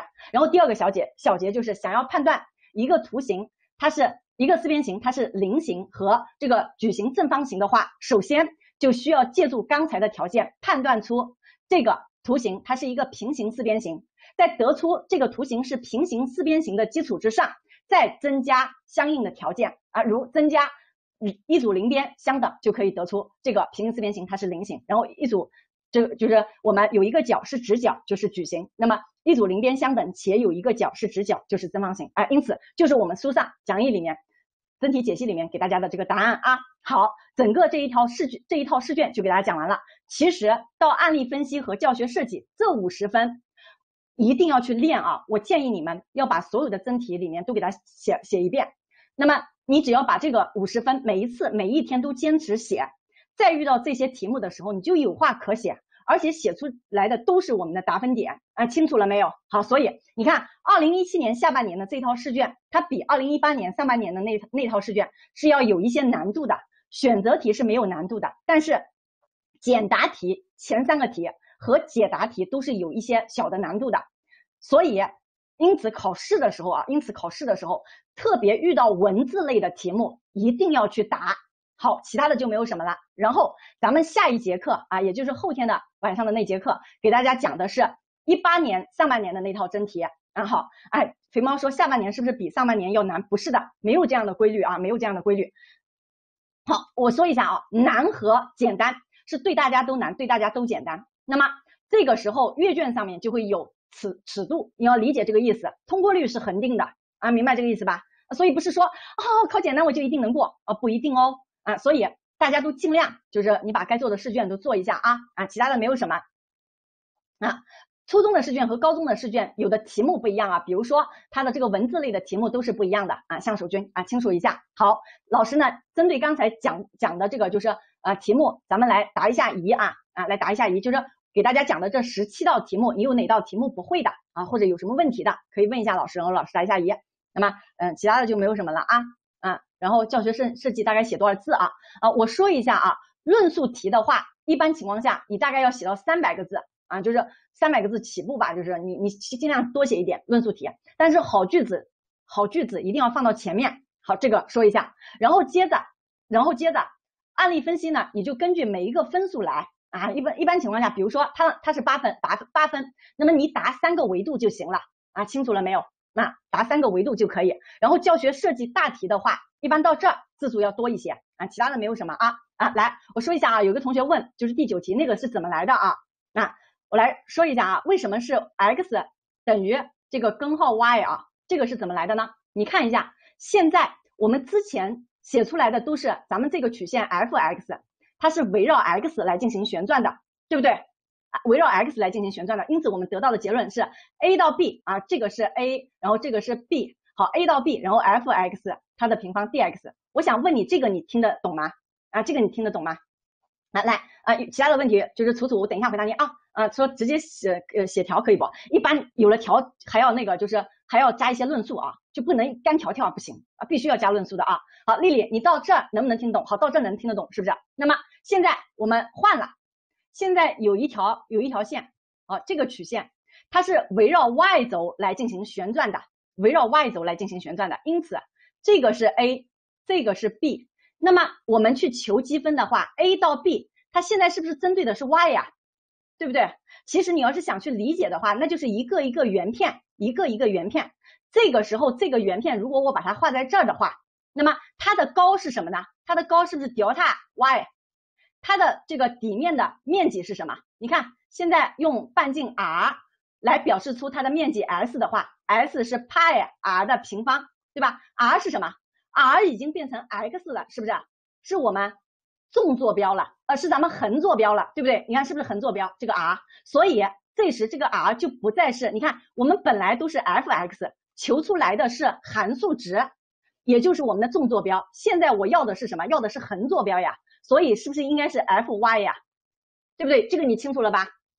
他不会求积分，啊啊啊！他，他是不知道怎么对 y 求积分。